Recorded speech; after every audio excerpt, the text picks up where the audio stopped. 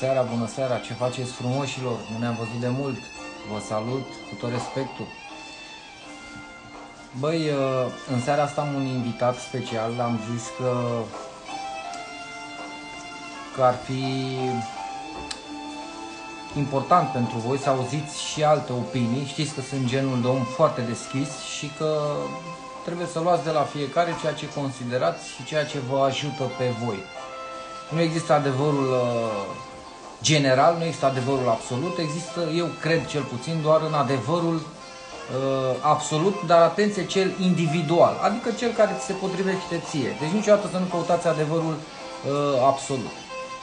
Bun, uh, invitatul din seara asta este Mihai Neamțu, un super om, uh, un om foarte, foarte deștept, Uh, și suntem total diferiți, așa cum am mai spus și la story, doar că, uh, cum să zic eu, eu consider că ne-am atins succesul pentru că cu siguranță cred că și el consideră că și-a atins succesul, doar că am reușit prin căi diferite, ca să, ca să spun așa. Eu, fiind forțat de viață, a trebuit să lupt și să, să mă lovesc de fel și fel de chestii, am fost forțat, ca să zic așa, iar el uh, a mers foarte mult pe citit, s-a documentat și așa mai departe, a mers în paralel, dar uh, haideți să, să, să intre și el ca să dezbat, să vă și notați. Așa ar fi ideal. Hai să vedem. Sper să nu deranjeze că mai fumez așa din când în când. Salut! Bună seara, mister, tot respectul. Îți mulțumesc salutare, salutare! Invitație. Uh, din respect pentru tine, uite, când o să fumez, o să mă dau așa într-o parte. Eu Bun. nu le mai fumam pentru că ăsta e singurul viciu și mi-e greu să stau atât timp fără să... să na, nu te judec, dar uite, îmi cer scuze și eu din start pentru că nu sunt femeie. Văd că unii au spus invită și tu o gagică. Ăsta e păcatul meu. Nu sunt nici transgender, nici femeie, știi? Ah. Așa că dacă nu pierdem prea mult din popularitate cu această chestie, aștept să discutăm despre ce, de ce, despre ce ne frământă și văd că te frământă și pe tine multe lucruri care mă ating și pe mine. Dar să știi că între noi nu e așa mare diferență. Adică am stat și eu cu picioarele în lighean pe la 12 noaptea ca să termin o traducere cu care să câștig o bursă, cu care să ajung în Anglia, cu care să fac școala așa cum se cuvine. Munca grea e aceeași, știi? Poate că am fost un pic mai norocos că m-a orientat cineva de vreme spre o direcție de asta, dar fundamental eu văd la tine munca văd la tine sinceritatea, strădania și cred că aici ne regăsim 100%. Uh, așa cum ziceam, bine, se știe faptul că munca uh, mentală uh, e mult mai dificilă decât munca fizică, ca să zic așa. Uite, un pic să dai tu mai încet, te rog frumos. Că, uh, dar uh, știi care ce e important să, să treci uh, linia, să ajungi la final, să ajungi cu bine, să ajungi în picioare Uh, și să o faci prin corectitudine, știi? Eu cred că despre asta este vorba în viață. Să fii Eu am ajuns la linia de start, nu? Sper că nu la aia de finish, că acum ne îngropăm unul pe altul și facem așa o tămâiere la, la final, la parastas. Nu, suntem încă tineri. Uh, consider că oamenii veritabili uh, nu renunță niciodată la vis, orice vârstă ar avea. Uite că tu spuneai că sunt un om care iubește cartea. Unul dintre modelele mele, unul dintre modelele mele este acest absolut admirabil istoric român, Neagu Giuvara, a scris și o carte pentru, pentru tinerii de toate vârstele. Și uh, omul ăsta care a ajuns să fie parașutat prin uh, Stockholm, Suedia, după aia să ajungă în Africa, după aia să-și facă doctoratul la vreo 60 de ani pe la Paris, omul ăsta s-a, s-a apucat de o facultate la 68 de ani și a terminat-o la 72. După care învățând limba sârbo-croată la 72 de ani, s-a apucat să mai scrie vreo 20 de cărți și a murit la 102 ani. Pariul pe care aș vrea să-l facem în seara asta cu toți cei care ne ascultă este pariul minții. Nu contează strict diplomele. Eu nu pun preț pe diplome. Contează dacă mintea ta e activă și dacă vrei până la moarte să lași o dâră de lumină în, în, în urma ta. Cred, cred că despre asta e vorba.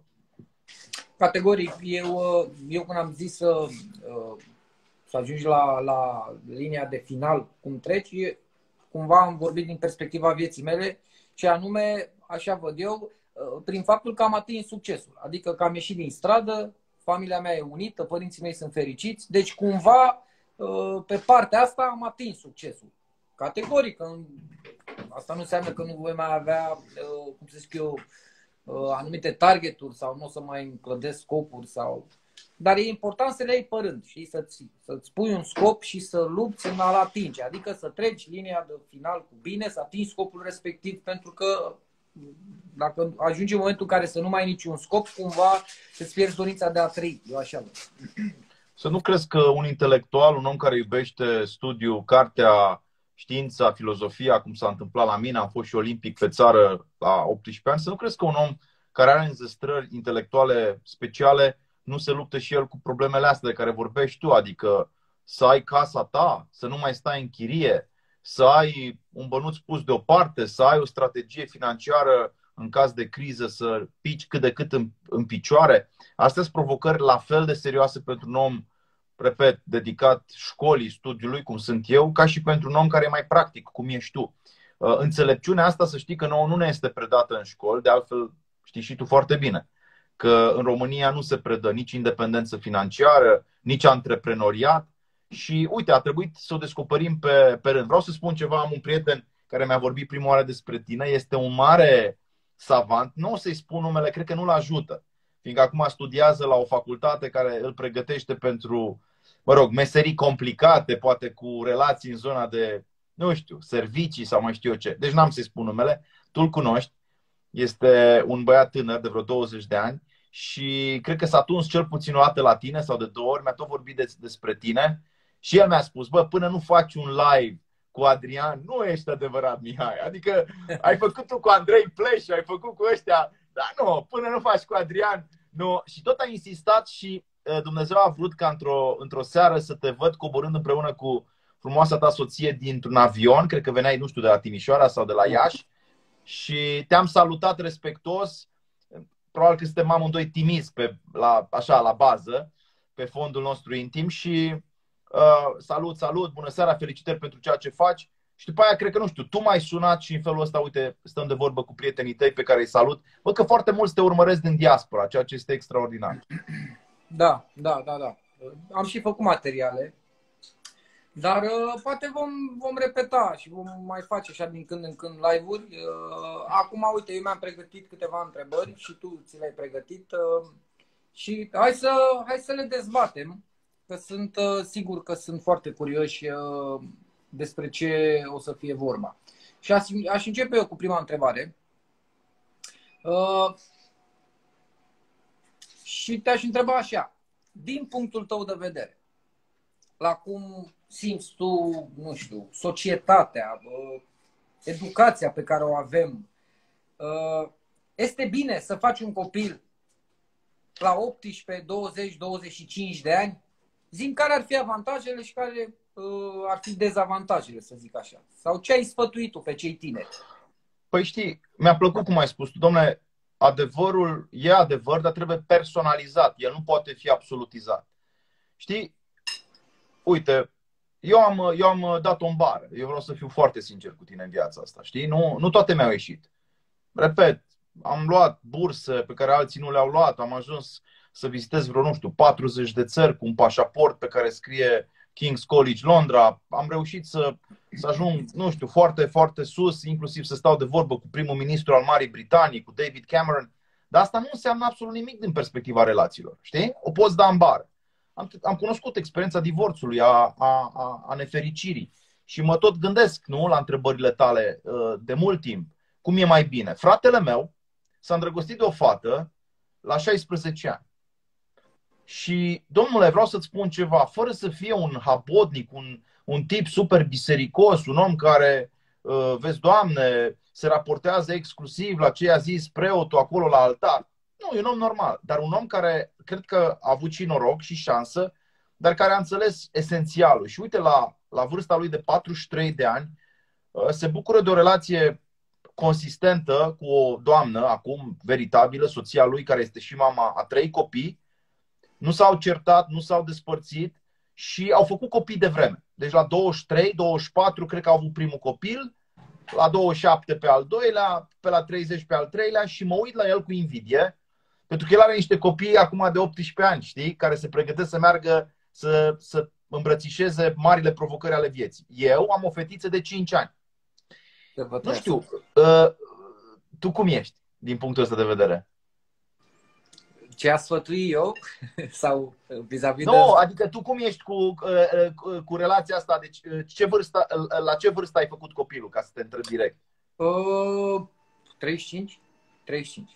Deci cam ca mine, târziu aș zice eu, da? Bun, noi, bă, noi bărbații care au făcut copii mai târziu, ne dăm seama că e și bine și nu foarte bine ca în vârf de carieră, da, la 40 de ani, să te duci să-ți iei copilul de la grădi. Era mai fain să-l iei de la liceu, să zic, să zic, poate.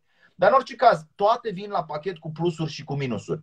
Personal, cred că a fi mamă tânără e destul de important. O să fiu acum biased, știi? O să zic, bă, hai să dăm un răspuns aici diferențiat. Clar, o mamă mai tânără este mai avantajată din punctul meu de vedere, faci copii un pic mai devreme, după care ei cresc sau se cresc singuri. Am văzut familii în care 2-3 copii se cresc unul pe celălalt.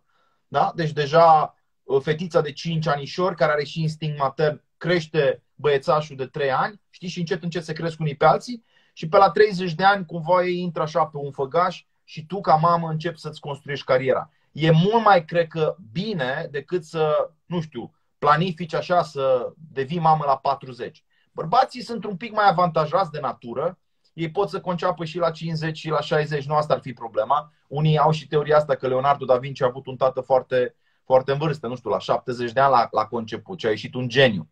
Dar cred că orice, fii atent ce vreau să spun aici, esențial. Asta e principiul. Orice faci, trebuie să trăiești cu consecințele deciziilor tale.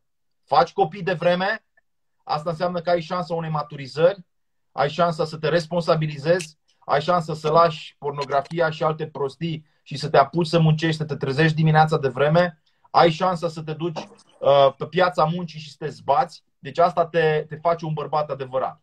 Poți, în schimb, să te angajezi la o viață de familie, fără un ban în buzunar, și știu teoria ta, fără o casă, cu credite la bănci, cu chirii scumpe și nestatornic, adică cu o minte care încă oscilează, astăzi îți place de una, mâine de alta, cu o minte necoaptă, fără să fi descoperit, nu știu, dimensiunea verticală, ce înseamnă Dumnezeu, ce înseamnă, nu știu, adevărul, ce înseamnă fidelitatea, și atunci probabil că vei face foarte mult rău celor din jurul tău. Nu plădezi pentru așa ceva, dacă te simți nesigur, atunci mai așteaptă puțin și când ești pregătit, intră în această aventură, care eu cred că e foarte frumoasă. Dar în orice variantă, cred că e bine să ai copii. Dar uh, mergând pe partea asta filozofică, dacă am început în, în uh, cum să zic eu, în stilul ăsta așa, uh, neexistând adevărul absolut, categoric noi acum tragem concluzii, știi, chestia asta tot așa cumva de societate. Dar eu, de regulă, prin, pe lângă întâmplările și situațiile vieții, eu primesc foarte, foarte multe mesaje de la tineri, uh, de la oameni din diferite categorii sociale uh, și îți pot spune așa, statistic vorbind, că de regulă tinerii care mi-au scris și au făcut copii la 18, 20 da, 18 de ani, mi se pare de vreme și mie, da. Sunt, sunt foarte mulți. Uh, 24 de ani au ajuns în scurt timp, în 3 ani de zile, 4 ani la divorț. Uh, și cumva chestia asta, uh, cred că s-au schimbat timpurile și noi ar trebui să renunțăm la reperele din trecut. Când uh, pe vremea comunistă, știi bine, Ceaușescu a adus sărănimea cumva la oraș, da? Faceți copii, hai în fabrici, ei, cumva era o, o, o siguranță dictatorială, că existau și avantaje și dezavantaje ca în orice. Dar acum eu așa văd, știi? Adică eu, uite, ți-a spune ție, tu ce preferi, Mihai? Să fii un tată tânăr, cu șansele uriașe de a ajunge la divorț, pentru că dacă ai ales să devii uh, tată la o vârstă fragedă, nu ți-ai trăit experiențele și nu are nicio treabă cu religia și cu Dumnezeu, repet, eu, eu văd că le, le amestecăm foarte mult lucrurile acestea. Uh, ce ai prefera? Să, să devii tată de tânăr, doar gândind că, bă, uite, când o să am eu 45 de ani, fiul meu are 16 ani, merg la liceu, a, bă, să văd bem o bere, știi? Dar șansele mari de a divorța în 2-3 ani sau să-l faci când ți-ai atins stabilitatea financiară, când ești copt, când ești matur, când ai avut 10, 20, 50 de relații, că ai fost liber, adică uh, ai fost asumat, dar ești pregătit. Adică poți face față. Chiar dacă te duci și lei la, nu știu, 50 de ani sau 55 de ani și mergeți la o bere. Adică ce ai prefera? Dar fi sincer. Eu nu mai pot să aleg, nu? Dar gata, am trecut de 40. Nu știu dacă îți vine să crezi, dar am și eu 42 de ani 43 azi, mâine. No. Ba nu, am, am ajuns la 43. Deci, uh, deci nu cred că mai sunt un copil, de, de, deloc nu mă simt copil, dar nici nu mă simt matusalemic, așa, un îmbătrânit de ăsta uh, epuizat, nu, nici pe departe. Am vitalitate, muncesc și eu 16 ca tine, 14, 16, 18 ore pe zi. Uh, sunt bucuros că sunt tată, sunt dornic să mai am copii, deci alegerea la mine deja e limpede. Am, am o viață în care Uh, clar, deciziile pe care le au acum sunt mature, sunt asumate, sunt decizii care sunt bine cântărite, nici pe departe să, să mai am șansa să fiu tată la 22. Totuși, totuși, uh, dacă tot am zis de Dumnezeu, nu, eu vreau să fiu foarte onest cu tine. Eu sunt creștin și nu fac din asta așa un titlu de glorie, vai, Doamne, sunt creștin și mă plimb prin, prin, prin piață cu crucea la piept. Nu. Cred că totuși creștinismul te învață respectul față de femeie. Asta am vrut să spun. Adică respectă-ți femeia, nu o bagiocori. Odată ce ai luat-o, nu o poți abandona, fiindcă ți-a căzut cu tronc alta sau fiindcă, nu știu, ai uitat de jurământul de la altar. Nu. Creștinismul ne-a învățat să fim întotdeauna responsabili, conștienți de ceea ce facem, de actele noastre. Și atenție, răspunzător, nu numai responsabil. Adică tu vei da un răspuns la o judecată. Cineva te va întreba, mă, tu ce ai făcut cu cuvântul tău, cu viața ta, cu relațiile tale? A, că există o perioadă în care un bărbat, mai ales, experimentează sau explorează, sunt de acord. Adică există o dimensiune inevitabilă a masculinității, da? bărbatul care se duce și uh, cucerește o lume. Când cucerești o lume, cucerești poate și o inimă, două, trei. Uh, nu toate relațiile care se înfiripă sunt predestinate la succes. Uh, sunt relații care rămân doar relații, nu știu, de amiciție care, care te forjează ca bărbat, dar nu au rolul de a te transforma în, în soț neapărat. Deci povestea e complicată, însă fundamental ce le spun celor care ne ascultă acum este uh, admirații pe cei care au relații reușite, aplaudați pe cei care au copii și nu vă grăbiți să râdeți de cei care, mai ales uh, tineri fiind, își asumă asta. Dacă și-au asumat-o, nu-i descurajați. Adică nu-mi place climatul ăsta, Adi, Adrian, iartă-mă, nu, nu-mi place climatul ăsta social în care acum, uh, mai nou, orice femeie am văzut este o vedetă. Eu nu mă, mai, nu mă prea pricep la vedete, dar e o doamnă care are șapte copii. Domnule, să îngrămădesc unii să o culească, vai, proasto, ai făcut atâția plozi, ce cauți tu în lumea secolului 21 cu 6-7 copii? Nu-mi place nici stilul ăsta. Adică nici o extremă, nici alta. Hai să respectăm deciziile oricărui om și hai să ne asumăm ce putem duce. Dacă vrei să duci mai mult decât poți să duci, înseamnă că ești mândru, arogant sau imatur. Dar dacă ești capabil să duci și nu duci nimic, înseamnă că ești laș și irresponsabil. Adică, dacă tu ai o casă, 3-4 camere, tu ai mașină, ai un job stabil, ai un business chiar și poți să crești un copil sau doi. Spune și mie, nu e o formă de egoism să nu faci copii în condițiile în care la 60-70 de ani bătrânețea aia însingurată, acră, fără o mângâiere, fără o vorbă bună, fără o glumă, fără o masă largă, știi cum erau pe vremuri, mesele alea cu, cu bunici și cu nepoți, uh, reprezintă o, o, o, o, o, o bătrânețe abjectă sau chiar eșuată? Uh, știi cum văd eu? Hai că am trăit uh, și în Occident și îți mai spun și atâta. Iartă-mă.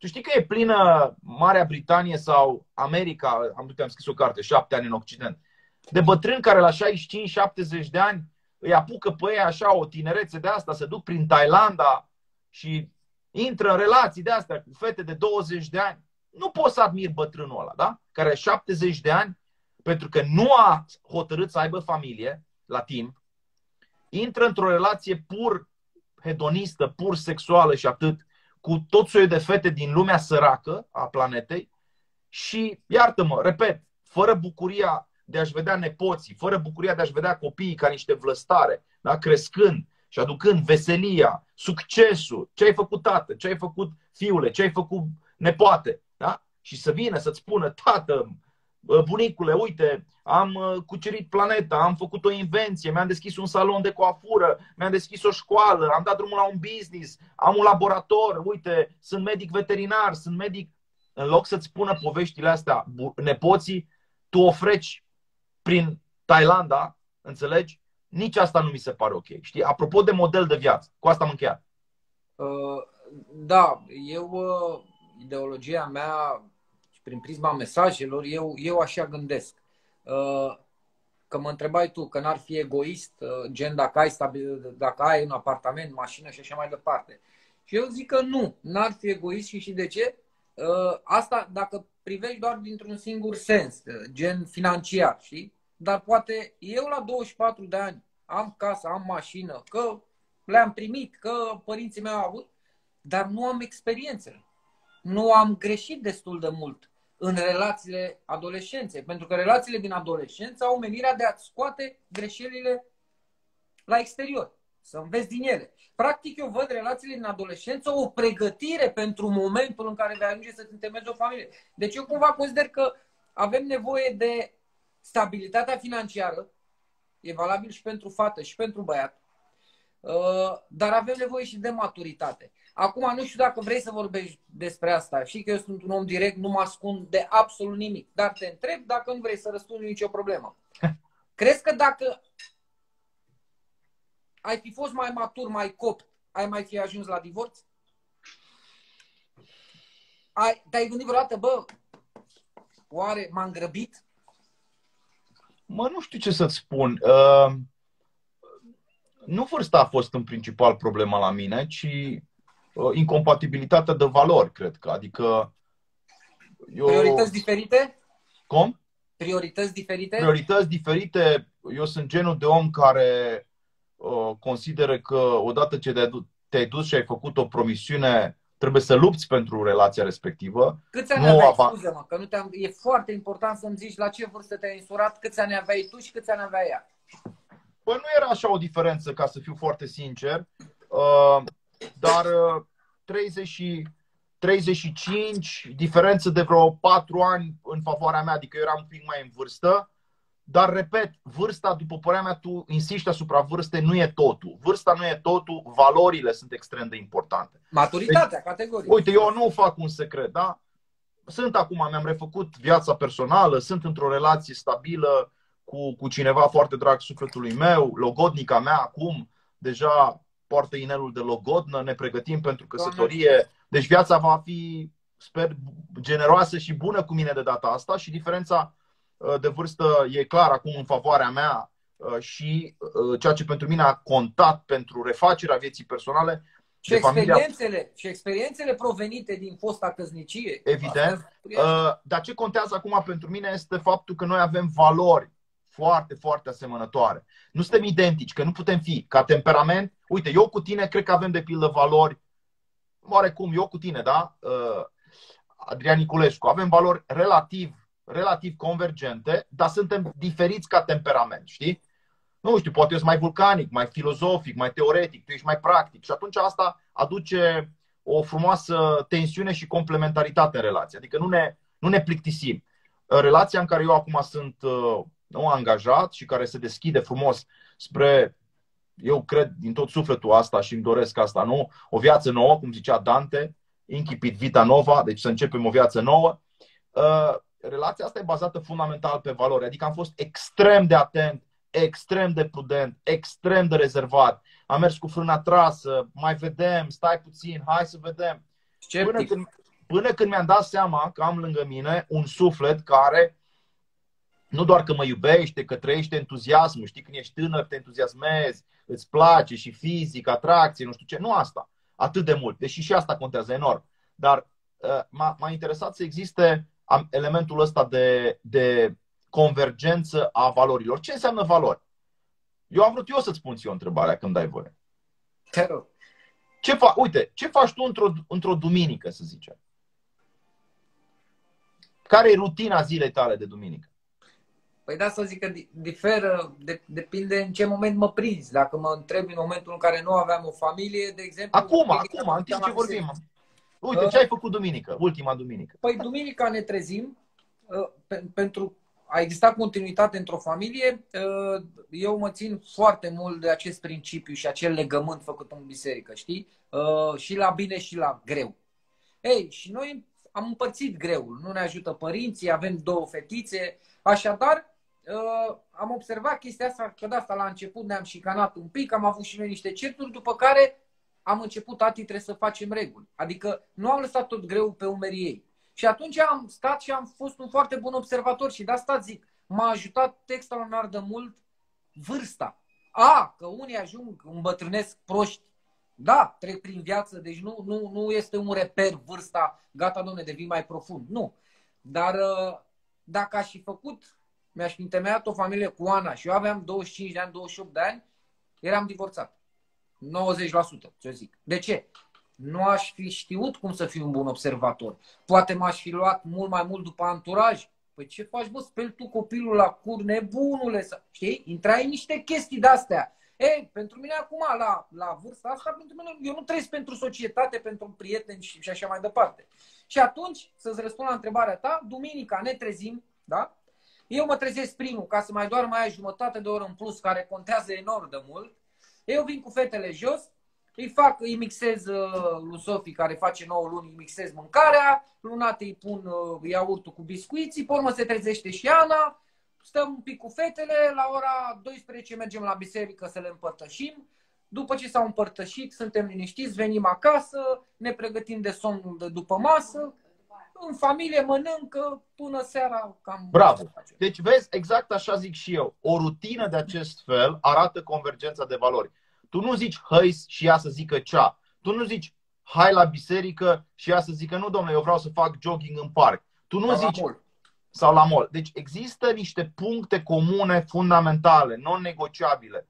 Mă, pentru mine lucrurile astea sunt importante. Dacă există hobby, gen, nu știu, uite, eu stau cu carte în mână, da? Și ei îi place să citească, da? Logodnicei mele îi place să citească. Mie îmi place să citesc. E mult mai ușor. Nu înseamnă că citim aceeași carte. Uite, ea citea o istorie despre Coco Chanel. Nu e chiar subiectul meu uh, prioritar. Deși interesantă și povestea lui Coco Chanel. Uh, apropo de succes. Eu citeam, nu știu, Aristotel, dar citeam, înțelegi? Există aceste bucurii comune. Și atunci, uh, apropo, pentru succesul relației, desigur contează și vârsta, e esențial să identifici 3-4 piloni. Da? De pildă, din ce familie vine? Dacă, dintr-o, dacă ea vine dintr-o familie în care familia este importantă, da? iubita ta, so- soția ta, vine dintr-o familie în care, iarăși, părinții au spus că e importantă familia. Sunt șanse să rămână alături de tine. Dacă ea vine dintr-o familie în care n-a existat deloc această valoare, uh, s-ar putea să fie mai complicat. Nu înseamnă că e imposibil, dar trebuie să lupți mai mult. Soții aproape, să nu plece. Uh, eu cred deci în, în rutină, eu cred în ritualuri, eu cred în, în chestiuni făcute repetat, eu cred în în ceea ce ai spus tu, în observație. Bărbatul este obligat să observe. Mai cred în lucru. Bărbatul e obligat să gândească o strategie pentru familie. E inclusiv financiară. E inclusiv profesională. Deci, multe lucruri trebuie uh, să se întâmple ca cei doi să rămână împreună, dar nu ca la un jug, ci să rămână de bucurie, de bucuria. Mai e încă un cuvânt magic, știi? Iartă-mă. Și al doilea, mulțumesc. Da? Băi, nu știu, mi se pare că uneori, Adrian, ai observat oare că suntem în stare să spunem tâmpenii, oricât de deștepți am fi, suntem în stare să spunem câte o tâmpenie, așa, una, două, trei pe zi. Și dacă seara nu reușești să spui, să scați pe, peste orgoliu să spui, draga mea, știi ceva? M-am gândit la ce, la ce vorbă ți-am spus azi dimineață sau la prânz. Iartă-mă, am spus o tâmpenie. Uh, dacă nu știi să folosești aceste cuvinte, iartă-mă, dar nu într-un mod uh, penibil, ci într-un mod autentic, sincer. Și iarăși, dacă nu știi să spui mulțumesc, uh, cred, că este, cred că este foarte greu. O să mă da. întreb, bă, Mihai, da, de ce filozofie multă, poezie, literatură? Uite, o să zic ceva. Pentru ca să învăț arta complimentului. Uh, logodnica mea spune că am un fel de a îi surprinde, nu știu, calitățile, frumusețea, uh, caracterul, un mod mai special. De ce? Pentru că eu pun cuvântul în, în lucrare, știi, în lucrarea acestei relații. Eu nu las gura mută, nu tac din gură ca mutul, știi? Uh, mă uit la ea și chiar caut uite, să fac un compliment. Îți dau, îți dau un exemplu. Una e să spui ce bine arăți și alta e să-i spui Mă, cred că rochia asta floral, așa, cu, cu flori și cu verde și îți stă extraordinar. Adică tu faci un compliment specific, punctual. Da? Eu cred că ție rochile roșii stau foarte bine pe tine. Sau te duci un pic mai în detaliu. Da? Uite, în mod special, acest coc sau această. Uh, da? Deci există un mod inteligent în care, prin cuvânt, da? construiești, țești relația cu celălalt și asta cred că asigură foarte mult nu știu, bucuria conviețuirii. Dacă nu știm să folosim cuvintele acestea deloc și doar așa suntem niște roboți, neața. neața. Uite, ca să fac o completare la, la ce vorbeam mai devreme și am mai văzut și prin comentarii, uh, se vorbea de rutină. Uh, eu cred că aș veni cu o completare și aș, aș spune rutina comună să fie o rutină comună, să, fie, să existe acele elemente care să vă bucure pe amândoi.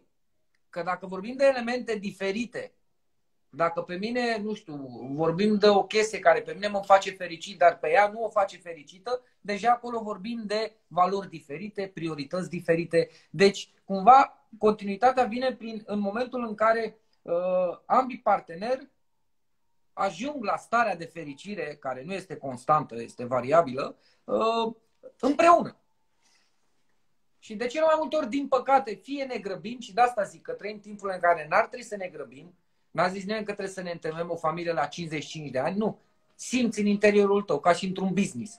Bă, când simți nevoia să deschizi un business, nu mai ai nevoie de sfaturile lui Niculescu sau ale lui Mihai sau al, nu știu, ce antreprenor. Bă, simți în interiorul tău, ai devenit atât de bun că n-ai nevoie nici de facultate, nici de o diplomă, de absolut nimic. Cam așa e și cu familia, știi? Adică nu e că mi-am zis eu, nu, 35 simt, simt că e o vârstă, nu, nu. Am avut atât de, am fost și afemeiat, am umblat și cu multe femei și, bă, și am ajuns în, în, într-un punct în care eu fiind un om foarte credincios de mic și trăind foarte multe chestii paranormale, uh, poate așa a vrut Dumnezeu să devin puternic, să duc o cruce uh, foarte grea și să ajung pe urmă să spun mai departe și să încerc să-i fac Clar. să evite anumite greșeli. Clar, tu, tu prin faptul că ai trăit mai mult, poți să relaționezi cu mai mulți.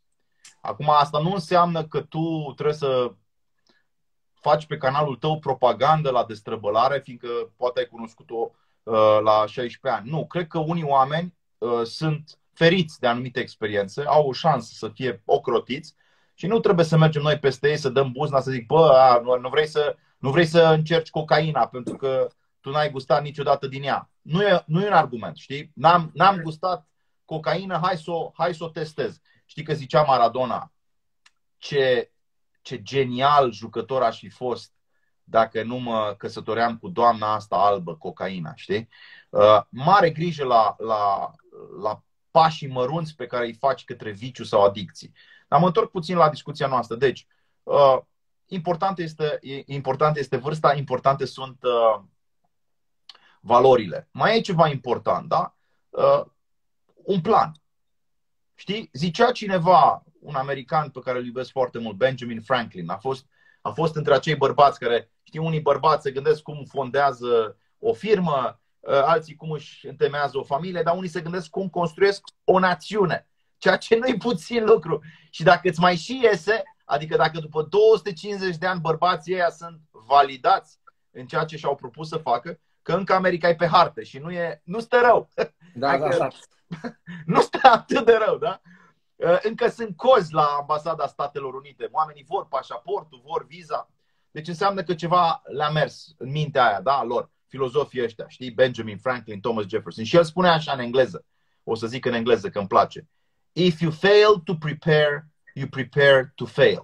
Adică, dacă eșuezi în a te pregăti, te pregătești ca să eșuezi. Da? Totul trebuie pregătit. Asta nu înseamnă că nu trăim misterul, nu trăim bucuria crede-mă, uite, eu cu, cu logodnica mea sunt atent, știi, și vânesc câteodată un apus de soare. Sau cobor, cobor în, în, în orașul întunecat noaptea pe la 11-12 să văd stelele. Poate o să zici că sunt un pic dus, dar chiar am momente de astea, știi? Adică îmi rezerv în, în relația aceasta 15 minute, 20 de minute să privesc și cerul, să simt și briza, să simt, să simt natura și așa mai departe. Nu toți avem șansa, dar e bine să, e bine să vânezi momente frumoase, un apus de soare, un răsărit, uh, lucrurile astea care te leagă. Dar ziceam că pre- pregătirea și planificarea, din păcate, astăzi nu se face în România, cam deloc, știi? Uite, noi am planificat acest uh, dialog.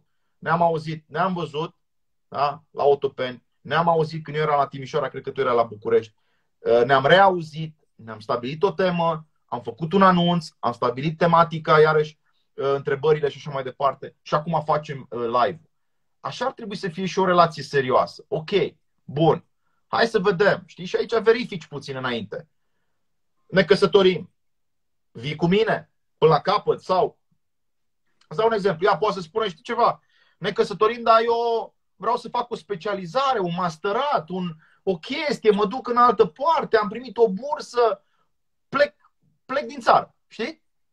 Apropo de eșec. Eu cunosc oameni de genul ăsta, da? Ea primește un job, ea lucrează într-o bancă. Hai să dăm un exemplu, da? Ea lucrează într-o bancă, ei se căsătoresc, trei luni după căsătorie vine șeful, că nici, nici ăla rău nu doarme, știi? Și o montează frumos, poate că șeful a pus de mult ochii pe ea, știi? Și zice, draga mea, uite, colega, uite, am aici pentru tine o super ofertă în Amsterdam, la Viena, n-ai vrea să, uite, e un job, un schimb de experiență, pac! Și e și o creștere de salariu, știi? Bine, el nu spune, el nu, nu o să-i spună că o să fie și el pe acolo sau ceva de genul. Înțelegi? Și atunci ea se duce acasă și zice, scumpul meu iubi, ne-am căsătorit acum trei luni de zile, dar aș vrea să, aș vrea să beneficiez de pe urma acestei oferte, o super ofertă, aș putea să învăț și germană la Viena, mă duc la sucursala acelei bănci și o să cresc în... Ok, stai puțin, că nu ăsta era planul, știi? Adică, de aia zic, un plan trebuie serios făcut. Ok, în primul an de zile, da? fără deplasări, fără excursii prea multe, da, pe cont propriu. Suntem împreună, construim. Al doilea an, la fel, al treilea an, adică câțiva ani de zile, da, trebuie sudat atât de tare, știi, cuplul respectiv, încât ispita asta, știi, a, a căsătoriei cu, cu profesia, că asta e o ispită astăzi. Și la femei și la bărbați. Da? Mihai, am da, cu da, stai că îmi pierd ideea și că dacă tot te-am prins, acum vreau să intrăm în profunzime, adică fii atent. Stăteam zilele astea, mergeam că eu mă gândesc foarte profund în sinea mea și mă duc așa din ce în ce mai în adâncime și în fine. Și mă gândeam așa, bă, eu cred că avem o percepție foarte greșită asupra eșecului. Ce înseamnă eșecul, de fapt? Uite, zim tu, ce... dă-mi o definiție a eșecului tu. Mă, eșecul este clar sentimentul neîmplinirii în raport cu un obiectiv pe care tu singur, liber, ți l-ai propus. Pentru că tu alegi să privești așa. Clar, absolut. În Dar mai în profunzime, tu... mai în profunzime, în momentul ăla când, să zicem, tu ți-ai propus un scop, da? Și nu ai reușit să-l atingi. Pentru că și, uh, primești sentimentul de neîmplinire. Gata, ăsta e eșecul. Dar dacă noi am învățat să privim din mai multe unghiuri, am conștientizat că singurul eșec este eșecul, uh, singurul eșec este momentul în care tu nu încerci nimic. Nu faci nimic în nicio privință. Ăla e adevăratul eșec. Atât e, unul singur. În rest, dacă eu vreau să deschid un business, investesc 5.000 de euro pe care i-am strâns în 2 ani de zile la cules de căpșuni și dau faliment. Eu nu trebuie să fiu trist. Ăla nu este un eșec. De acolo eu am o învățătură sau mai multe. Bă, am greșit pentru că n-am creat un brand, n-am, nu m-am folosit de internet, n-am făcut un site, n-am făcut promovare, n-am făcut... Bun. Deci, ce ai spus tu mai de, de vreme în engleză, da? Te pregătești pentru succes. Deci, și de asta zic că există un singur eșec, când nu încerci. E foarte bun asta. Da, asta e foarte bun, îmi place. Uh, cuplu cuplu uh, poate să aibă uh, de asemenea o mare ispită să trăiască în rutină și să nu aibă niciun soi de obiectiv inclusiv de ordin material, mediu, da? pe termen mediu, pe termen lung, termen intermediar și aici iarăși cred că poate fi de folos să, să spui așa. Bă, uite, anul ăsta avem nu 52 de săptămâni într-un an. Zic bine? Că s obosit, e ora târzie, tu ești mai nocturn ca mine. Și ne putem propune niște experiențe împreună. Uite, eu zic să vezi 10 filme bune, domnule, pe, pe an. 10. N-am zis mai mult.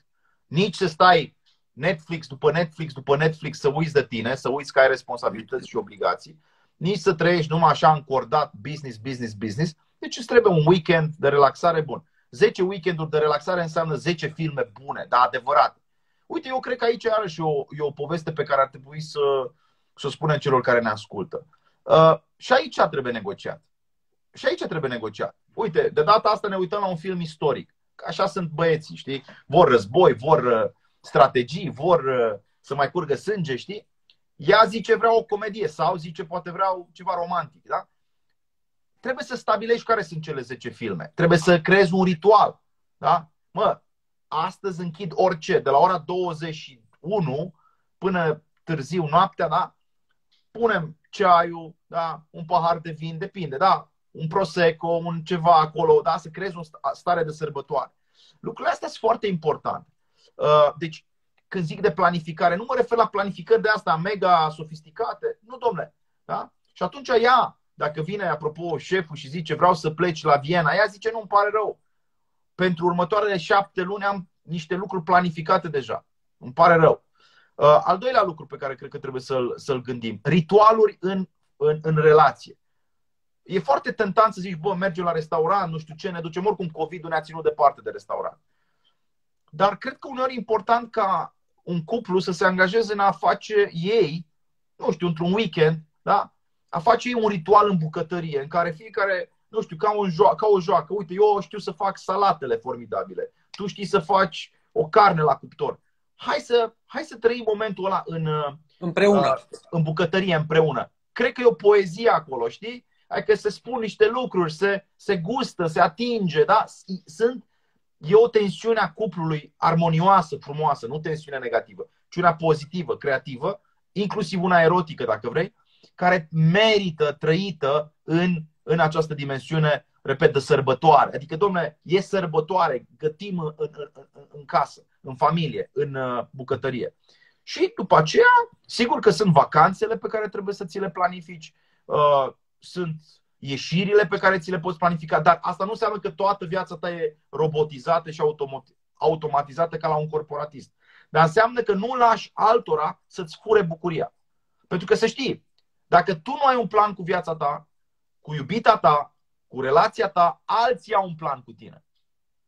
Tot timpul alții au un plan cu tine. Să te stoarcă de energie, să te aducă în uh, nu știu, businessul lui ca să muncești și mai mult, și sâmbătă, și duminica dacă, dacă ești dispus. Și uite, vreau să fac o mărturisire, nu știu dacă accepti. Dar nu vreau să terminăm discuția noastră fără să fac o mărturisire. Să nu se supere doamnele pe mine, da? Cer iertare din start. Eu am văzut foarte multe femei căsătorite cu companiile care le plătesc foarte bine. Domnule, femei deștepte, pregătite, super competente, 27, 30 de ani, 33, 35, 38, încă căsătorite, domnule, cu compania, care le oferă mașină, bonusuri, premii, peste premii, deplasări, hai, traininguri, super tare, dezvoltare personală, wow, Tony Robbins, casete. Și timpul biologic a trecut și ele la 38 se uită și zic, oh my God, stai puțin că eu nu am copil, stai că eu n-am un soț, am avut iubiți, dar n-am soț. Și atunci ele intră în depresie, intră într-o criză. Asta e o greșeală care iarăși ar trebui un pic evitată. Adică tu ai dreptate când spui, bă, nu vă aruncați la 18 ani să faceți copii, dar și eu am dreptate spunând, atenție mare, timpul trece și viața e scurtă, chiar și în cea mai lungă variantă ei. Și atunci, mai ales ca femeie, fii foarte atentă ce faci. În cazul ăsta ce ai spus tu, că uite, eu mai notez aici ca să nu le uit. Um, um, eu, eu consider că elementele cele mai importante adaptate timpurilor pe care le trăim, uh, eu, eu cam așa văd.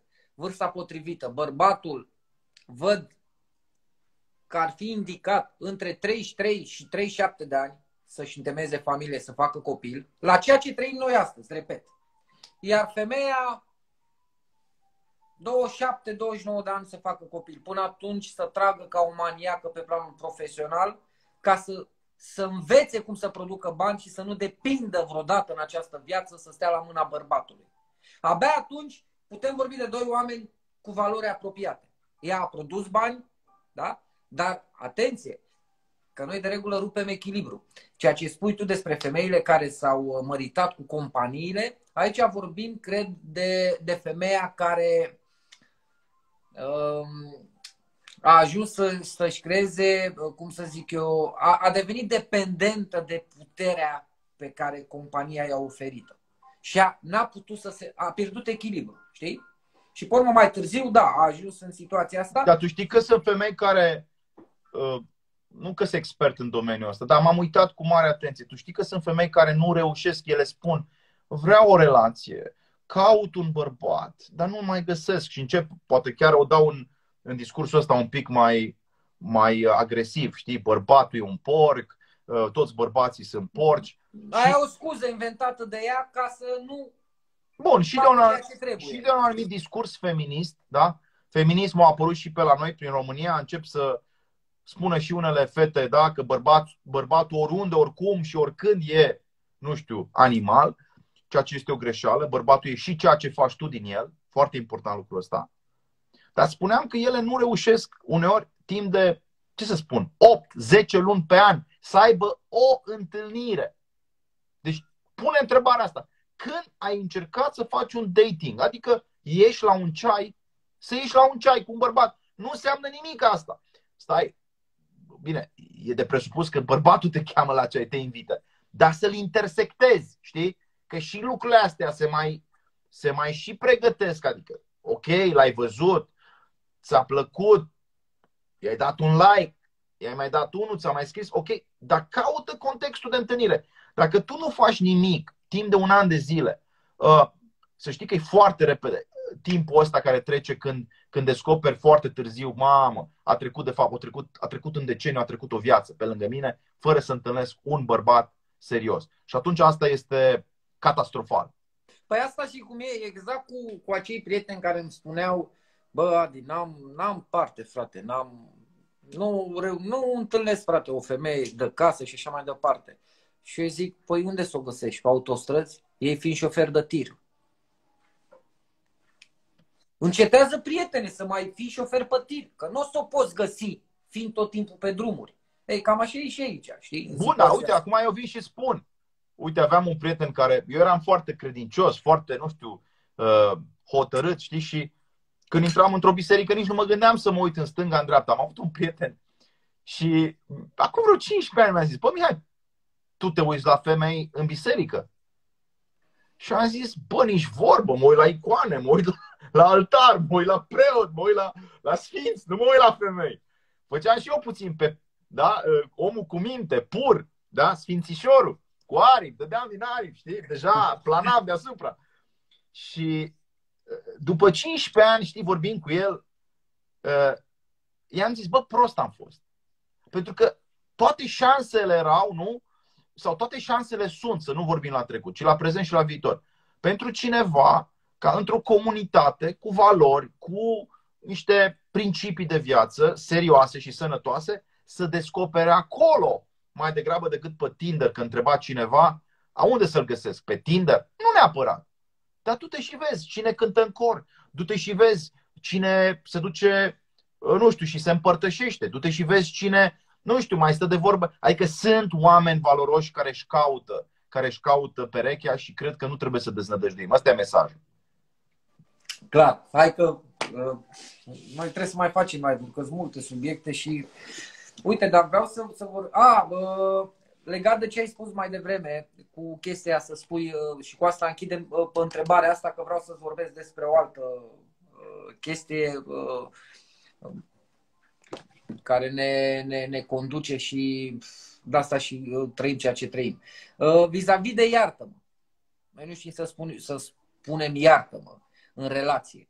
Și uh, chestia asta eu consider că vine din, din teama de a nu pierde lanțurile prin care conduci. De cele mai multe ori nu spunem iartă-mă că gândim așa. Păi dacă îi spun iartă-mă acum și eu în cap și devin preș și nu mă mai înțeleg cu ea. Sau și invers, e valabil. În majoritatea cazurilor asta cred că este problema. Da, da bărbatul are orgoliu, știi? Și atunci nu poate accepta că el odată a greșit și doi uh, simte că într-adevăr se umilește dacă spune iartă-mă. Iar, uh, iar mulțumesc este un cuvânt care a cam dispărut din vocabular și pentru că Adrian dă voie să observ că eu mă mai uit și la cultura în care trăim. Totul este astăzi despre dreptul meu. Păi, e dreptul meu. Mi se cuvine. Înțelegi? Meriți. Ce spun reclamele? Meriți o bere. Meriți. Bă, dar de, cât, de când și. Nu? De câte ori merit atâtea lucruri da? din jurul meu? Poate că unele nu sunt deloc merit, ci doar dar. Poate că însăși relația aia pe care o ai, un imens dar, prostovanule, care ți s-a făcut, e ultima ta șansă. Nu trata relația aia ca și când ți se cuvine, ca și când, nu știu, ai câștigat-o la loz în plic, ca și când, nu știu, ai tras la, la, la galere pentru ea. Nu e cazul, da?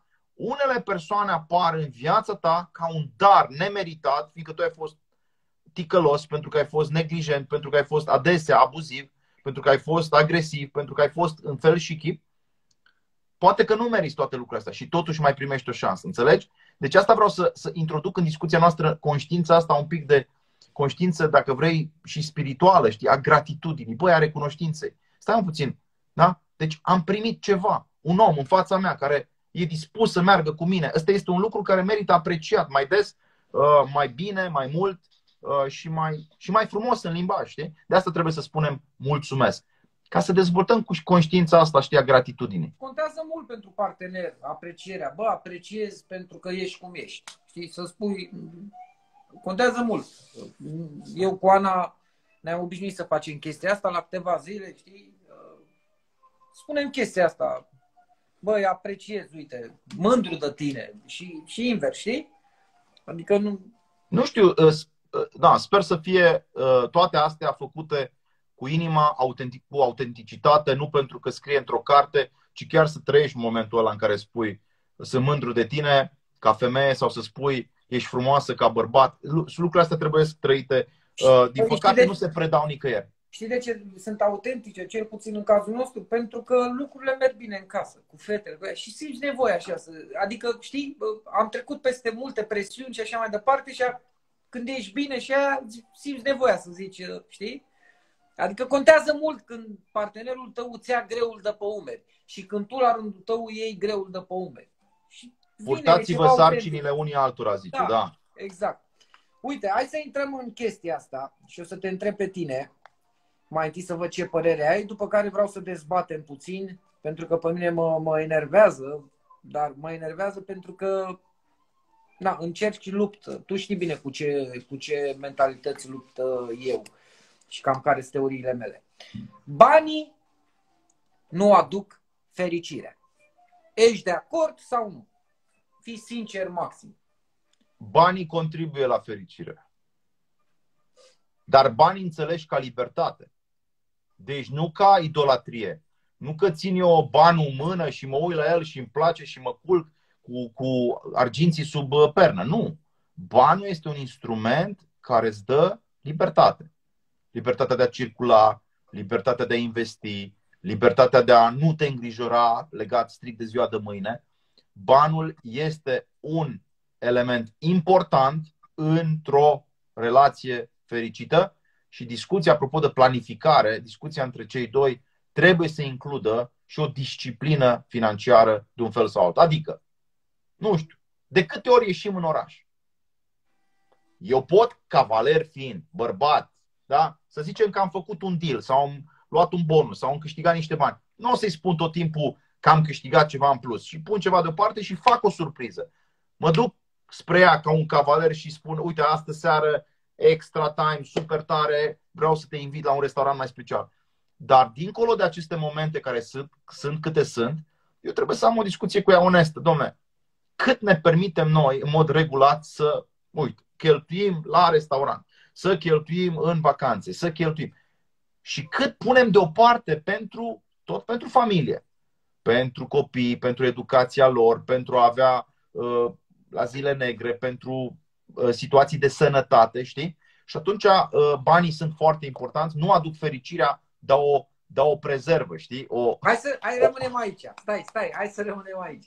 Bun. Deci, consider că nu aduc fericirea. Uh, consider că banii alimentează fericirea. Dar nu o aduc automat. Adică vreau să fiu foarte sincer cu tine, vrei să spun? Eu am fost într-o relație în care banii nu erau o problemă. Deloc. Incredibil, nu-i așa? Uh. Deci, eu am fost într-o relație care a ieșuat, în care banii nu erau, subliniez, deloc. Adică bugetul familiei depășea 10.000 de euro pe lună. Și cu da, toate de ce astea, și de cu toate astea n-a ieșit de ce dăm vina, vina pe, pe, pe bani? În, în multe situații, uh, uite, de exemplu, banul e ochiul dracului. Ești de acord cu chestia asta? Nu, uh, nu sunt de acord. Cine a Nicăieri... scos Cine e ăla care a scos chestia Nicăieri asta? nu scrie în Biblia asta. Spune așa. Iubirea de arginți e pricina tuturor răutăților. De ce? Biblia zice că tu trebuie să-l iubești. Iuda, nu? Sau... Are legătură cu Iuda, că l-a vândut pe Isus? Bineînțeles. Deci, deci Biblia ce spune? Iubește-ți aproapele, da? Dragostea e pentru oameni și pentru Dumnezeu, nu e pentru obiecte.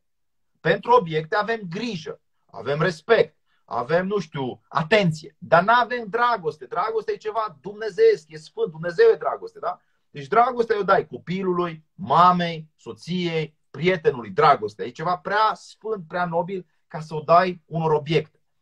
Fie și un Ferrari ruginește, da? și un Porsche ruginește, și niște bani pot să ruginească prin inflație. Bine, le, le po- te poți atașa. Adică dacă eu am muncit exagerat de mult să-mi iau o mașină, mă pot spune, bă... Mă... Da, mă, dar să nu ajungi să... Deci să nu ajungi pentru respectiva pentru mașină să distrugi o relație. Da. Nu știu, dai mașina soției, ea nu conduce foarte bine, faci o manevră riscantă, o bușește și o bușește, tu... nu foarte tare, și tu în seara aia, mamă, te duci... Uite, vreau să fiu sincer cu tine, da? Am un copil minunat, 5 anișor, Maria, a vrut ea să spun o, pove- o poezie, o poezioară pe YouTube. Mi-a zis, tati, vreau pe YouTube. Nu știu, nebunie, în fine. Și a spus ea povestea, a făcut o, o piruetă cu rochița ei plină de flori și fără să vrea, da, a dat cu uh, microfonul ăsta care m-a costat la magazinul Muzica 10 milioane de lei vechi, a dat cu el de pământ, s-a spart, da? Bine, mersi, nu știu dacă mai funcționează. Cert este că ispita de moment a fost o cer. Maria! Da. da. Și după aia mi-a zis, mă, da, stai mă puțin, adică e un obiect, dă naibii, doamne iartă-mă, da? Îl schimb. Copilul e o ființă vie, delicată, nu pot să dau buza. Maria, să știi că ăsta e un microfon scump, tati te roagă foarte mult pe viitor să fii atentă, hai că nu o să mai facem înregistrări cu microfoane scumpe prin, prin preajmă. Deci, deci a fost vina ta. A fost vina mea, clar. Păi, Mi-a dat seama a doua zi. Deci, pe scurt, mașinile, banii, reputația, niciodată nu trebuie să fie motive pentru care tu calci în picioare omul de lângă tine. Așa este. Dar, da. De ce? Uite, eu cred că banii aduc fericire. Și lasă-mă să spun de ce. M-am prins și din, dintr-o discuție anterioară cu tine. Dar fii atent, nu. Pentru că eu nu sunt un condus de bani. Dar vreau să, să, să hai mă, să, să ajungem la o concluzie pe, pe chestia asta. Deci ei mei au pierdut casa la 17 ani. Da? Lucru care te-a ne-a afectat. Separat. Ne-a separat. Da? Mama a divorțat de tata, deci de la problemele financiare, de la presiunile cămătarilor și așa mai departe, s-a distrus iubirea, absolut tot, n-am mai avut, a trebuit să supraviețuim, da? Probleme și așa mai departe. Deci din momentul acela eu am devenit nefericit, neputincios în fața lumii. Bun, au trecut ani. Am început să muncesc cu milințe și așa mai departe. Bun. Și am ajuns în punctul în care astăzi, datorită banilor pe care i-am făcut, nu sunt nevoit să stau într-un apartament, să fiu legat de o bancă, uh, unde să nu am curte printre betoane și așa mai departe. Astăzi stau într-o casă foarte frumoasă, am făcut-o pe placul meu și al Anei. Fetele mele stau în curte și pe stradă, este stradă privată, zici că ești în Beverly Hills. Și eu vin și ți afirm ție, Mihai Neamțu, Mihai, sunt fericit astăzi. Pentru că datorită banilor, bani pe care i-am băgat, mulți bani cât am băgat în casa asta, eu astăzi mă simt fericit. Cine poate să spună mie că nu banii mi-au adus casa asta și terenul ăsta și așa mai departe? Dacă nu pot să te contrazic, din potrivă. Am spus că tu, fiind astăzi căsătorit, într-o relație statornică, cu niște copii minunați, într-o casă, prin bani amplifici fericirea. O, da, banii, banii amplifică fericirea pe care tu ai dobândit-o prin relații. Că dacă tu stăteai acum în Beverly Hills, singur, cook, căutând, nu știu, fete frumoase pe Tinder, la 40 de ani, nefericit, dintr-o relație într-alta, eu nu cred că tu făceai live-uri cu această energie. Tu ai o energie specială acum, ai o privire limpede, mă uit la tine, ești senin, nu ești încruntat, ești așa, deci nu ești așa, ești un om împlinit pentru că ai în primul rând parte de o relație frumoasă cu soția și cu copiii. Dacă ești și pe verticală cu Dumnezeu, cu atât mai bine. E, la asta vine banul și amplifică emoția. Copilul e și mai fericit dacă stă în, în, în verdeață, soția este și mai fericită dacă are o bucătărie mai mare, tu ești și mai fericit dacă ai propriul tău, uh, nu știu, living în care nu te deranjează nimeni, etc., etc., etc. Bun, deci noi să le spunem... Tablou. Da. Păstrăm tabloul ăsta. Și acum, în situația asta, venea cineva și lua aceiși bani pe care noi îi producem, atât eu și Ana, că și ea e independentă ar crește, ar, ar crește, nu, cresc șansele să apară presiuni, certuri între noi, rupturi și așa mai departe, de la probleme, de la datorii, se îmbolnăvește fetița, Doamne ferește, nu ai, nu. Eu asta vreau să zic, că dacă noi vom continua să fugim, să înțelegem faptul că banul îți aduce fericirea și că vezi, noi, noi facem legături. Uite, cum ai zis tu, știi, dacă ai fi în Beverly Hills singur sau de ce trebuie să faci? Sau, sau cum e chestia aia? Cum zic românii. Bă, disperat de bani ești, bă, sau... Păi pe, pe mine știi ce m-a motivat să ajung în momentul ăsta? Primul și primul lucru a fost să ajung să am din nou o casă, astfel încât părinții mei să se împace. Știi? Ei, și de asta am muncit și am alergat după bani. Dar iată că n-am pierdut echilibru. Deci eu nu doresc milioanele de euro. Eu acum sunt fericit. Dar susțin faptul că banii mi-au oferit libertatea de a scăpa mai ușor de presiunile societății. Da. Pentru Dar hai să, au... zicem, banul, banul, că e în sine o hârtie, am înțeles, da? Că dacă eu am bagnota asta, uite, pe așa, da? Deci am 100 asta de euro, da? Asta, deci în spatele a orice stă scopul pe care îl ai. Totul se împarte la scop, scopul pozitiv sau negativ. Eu cu 100 asta de euro pot să plătesc pe unul să te bată pe tine, Mihai, că ești vecinul meu de deasupra și tot timpul pui muzică și îl plătesc pe ăla, deci am făcut un rău, da? Asta nu înseamnă că banul în sine a venit și te-a bătut. Nu, eu l-am dat unuia să te bată, da? Sau cu 100 asta de euro cumpăr de mâncare pentru niște bătrâni.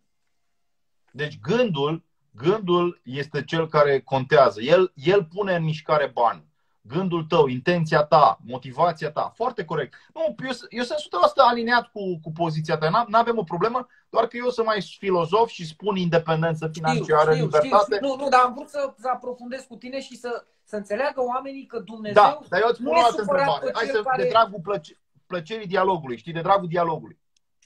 Exact, da. Uh, tu ești o față sunt... de... Tu ești o eu nu sunt un om al banului. Eu nu sunt un om al banului am, tot timpul am creația și vreau să produc bani, pentru că, așa, cum să zic, mă, banii reprezintă valoarea societății pentru ceea ce oferi tu. Punct. Deci dacă tu ai, bun, bani au și maneliștii, bani au și uh, oamenii de pe Wall Street, bani au și sportivii, bani au și mafioții, bani au și oamenii cinstiți. Deci banii sunt distribuiți într-un mod spectaculos în lume și nu există o regulă strictă. Trebuie să fie așa ca să ai bani. Există însă niște principii financiare despre care poate vom vorbi altă dată și care nu se predau în școală. Eu spun însă ceva legat de moral aici și de etică. Fiindcă trebuie să recunoaștem, există și, asta o, și, și această ispită o, există o ispită foarte puternică în societatea românească. N-ai văzut în ultimele, să zic, nu, în ultimii ani, nu în ultimele luni, ci în ultimii ani, prin fața căminelor studențești, parcate mașini, mici, cochete, semi-luxoase, în care ți se spune chat, video chat, charming, whatever. Suntem una dintre țările în care industria asta, video chat, plus ce înseamnă, uh, mă rog, partea chiar dură a serviciilor de prostituție, suntem într-o societate în care această realitate a, con- a convins multe fete la 21 de ani, frumoase, agățate pe stradă, pe scurt, da? De niște băieți isteți, să renunțe la facultate. Da? Hai să discutăm despre subiectul ăsta. Fato, tu faci medicina, tu faci agronomia, tu faci biologia, tu faci matematica. Când tu poți în două săptămâni să dublezi, să triplezi salariul de profesor, de inginer, de ce ai devenit. câteva mii de euro. Și sunt persoane care spun, ok, nu m-am gândit, dar sunt dispusă să fac asta. Uh, cum negociezi atunci cu tentația asta? Depinde cum, uh, cum ai fost crescut în familie. Adică eu am ales calea cea lungă. 21 de ani mi-au trebuit să ajung să am din nou o casă. 21 de ani. Adică de la 18 ani. Uh, dacă ai crescut într-o familie și ți s-a oferit totul, categoric creierul tău va fi unul comod. Știi? Uh, da, repet, ruperea de echilibru se poate întâmpla în orice situație, în orice context. Nu e o regulă anume, știi? Uh, sunt foarte mulți oameni de regulă cei comozi când vii și le oferi o situație, adică, bă, uite, poți face 5.000 de euro fără să te duci zilnic la muncă. Dar trebuie să faci asta. Ei, ei pun în balanță și zic, da, mă, ce... adică să stau, să mut că să lucrez pentru niște amărâți de bani. Ei, și atunci, cum spuneai și tu mai devreme, uh, vorbim de alegeri în viață, știi? Eu n-am ales uh, nici politica, nici uh, să mă prostituez, să umblu cu femei mai în vârstă, să mă întrețină. Tocmai pentru că am valori și l-am văzut pe taică meu care de, când eram noi mici și aveam magazin, noi trebuia să aveam sarcini. Să, eu strângeam uh, hârtiile, frate mi stropea, apoi mă mutam navetele și abia apoi primeam o ciocolată sau ce vreau, înghețată sau mai știu eu ce. Dacă nu l-am văzut pe tata să se prostitueze sau mai știu eu ce, e logic că în capul meu am, am preluat de la el niște principii sănătoase și de la mama și așa mai departe. Deci revenim iarăși la ani esențiali petrecuți în familie. Dacă fetele mele mă văd pe mine tot timpul că îi vorbesc frumos Ane, că o îmbrățișez, că petrec timp cu ele și asta se datorează banului. Atenție! Îmi oferă posibilitatea asta, pentru că banii îți cumpără timp. Asta își vor dori și ele în viitor, când vor avea soți. De ce? Ele nu vor accepta ca unul să le înjure, să le drăcuiască sau să ridice palma. De ce? Păi n-am văzut la tasul în casă. Dacă ele mă văd pe mine, că și eu mă implic, dau cu aspiratorul, șterg geamurile, fac curățe, lucrurile acestea, acestea vor deveni o normalitate pentru ele. Înțelegi? Deci totul e vorba despre educație. Și noi trebuie să înțelegem că omul care aleargă să facă bani înseamnă că ăla creează. Ăla nu e un om bolnav. Noi suntem creatori prin definiție. Dumnezeu ne-a creat după chipul și asemănarea sa. În momentul în care încetezi să crezi și devii un robot al societății, tu ești ca un zombie, un mort zombie. Știi? Ei, și de aici apare și frustrarea, și invidia și așa mai departe. Și iar, eu spun, iar eu spun că pentru acea tânără care are posibilitatea să se abțină 3-4 ani de la o viață de lux, de la o viață foarte confortabilă, care la 18, 19, 20 de ani zice ok, pot să învăț pe brânci, dar la 26 voi avea diploma și voi fi curtată de diferite companii sau corporații sau voi putea lucra ca antreprenor, acea fată care se abține de la confortul de a, nu știu, purta pe umeri o geantă de 10.000 de euro. Pentru că sunt aceste ispite. Deci vine uh, peștele și zice, stai puțin că în 10 zile deja ai da? tot, ce, ce, tot ce-ți dorești. Chanel, da? toate, toate firmele mai scumpe din, din lume, Hermes și așa mai departe, vor fi pe tine dacă prestezi, dacă livrezi. E, acea fată cred eu, care, care se gândește la pariul pe termen mediu și lung. Aici, asta e tema pe care aș vrea să o introducem. Viața e o cursă lungă, nu e un sprint. Și cu banii, da? Și cu banii. Viața este o cursă lungă. Dacă în strategia de a face bani tu folosești întâi creierul și abia apoi, să zicem, corpul. Nimeni nu zice, când spun corpul, uite, la, mă refer la ceea ce faci tu, da? Tu îi faci pe oameni, pe bărbați să arate bine, da? Tu îi tunzi frumos, da? Tu îi aranjezi, îi apretezi, ok, asta este în regulă. Adică și intelectualul, și politicianul, și uh, uh, un gigolo au nevoie toți de serviciile tale și asta te face, de, de pildă, un om de succes. Dar revenind, asta este cu măsură, utilizarea trupului cu măsură. Nu este o modalitate batjocoritoare la adresa trupului uh, ceea ce oferi tu. În schimb, în schimb, aici, la nivelul minții, al sufletului și al conștiinței, se dă bătălia. Și cred eu că oricine este sub această presiune de a face bani, trebuie să zică ok, trebuie să fac bani, dar voi face bani într-un mod inteligent care nu mă rușinează, nu mă degradează, nu mă transformă în obiect, chiar și un obiect sexual. Și atenție, voi face bani într-un mod pe care îl pot continua și la 60 de ani și la 70 de ani, da? În viața mea. Și asta înseamnă utilizând mintea. Tot ce înseamnă utilizarea minții, uite, asta faci și tu. Tu, tu utilizezi tot timpul da? noțiuni, concepte, idei, imagini. Nu te dezbraci ca stripper. Niciodată, nu? niciodată. Da? Asta înseamnă... Asta mă face, tocmai, asta nu mă face un om condus de bani. Am făcut banii pentru că, na, cum spunea și Ana mai devreme, mi-a scris pe telefon ca să citesc. Probabil eu duc lupta asta și uh, apreciez banul și prin contextul prin care am trecut, că au pierdut casa și așa mai departe, față de tine care tu ai avut un alt context, știi? Și de asta vedem cam același lucru, dar părți separate, știi? Dar oamenii trebuie să înțeleagă că în viziunea lui Dumnezeu nu ești un om rău. Uh, atribuim conotații din astea proaste. A muncit ăla, are 10 vile și mai știu eu ce și că o să moară și toate le lasă pe pământ. Păi stai bă, da! Și doar omul care a, a fost omul banului și a clădit un imperiu, doar la ăla se va duce moartea, știi? Sau, adică niște de-astea foarte proaste, moartea nu Foarte proastă. Deci și la un zidar și la un... Deci, a, că ăla a pierdut echilibru. Că și-a pierdut familia, că a intrat în acest vârtej al banului și a avut mai, mult, mai multe milioane și a intrat în fel și fel de concurențe, așa cum poate și fata despre care spuneai tu mai devreme exemplul tău, care, marea problemă care e? Concurența comercială, fals, cum să zic eu, reperele false provenite din societate. Fetele de-astea acceptă să facă videochat. O vede și pe aia la liceu care are Gucci, care aia face videochat. Și atunci, gră, cum să zic eu, chestia asta grăbește procesul. E ca și cum eram noi. Ne vedeam, cu, vă vedeam cu 2-3 tovarăși din clasă și apărea unul, tot de la noi din clasă, cu un BMW și cu cea mai bună fată din liceu. Și atunci, în creierele noastre, în neputința noastră, ce ziceam? Că creierul inventează scuze. Pa, mă, păi da, asta mă are ăla, că uite ce BMW are, are un ban, tasul, în parlament. Și atunci cine e vinovat? Păi școala ne ține, că dacă nu era școala, aveam și noi bani. Lucram și așa mai departe. Și uite cum era să fac o mare greșeală să renunț la liceu în clasa 11 De la o prostie de genul ăsta. Asta se întâmplă și la De la o analiză o... greșită, pripită. Exact. Reperele false, comerciale expuse în societate.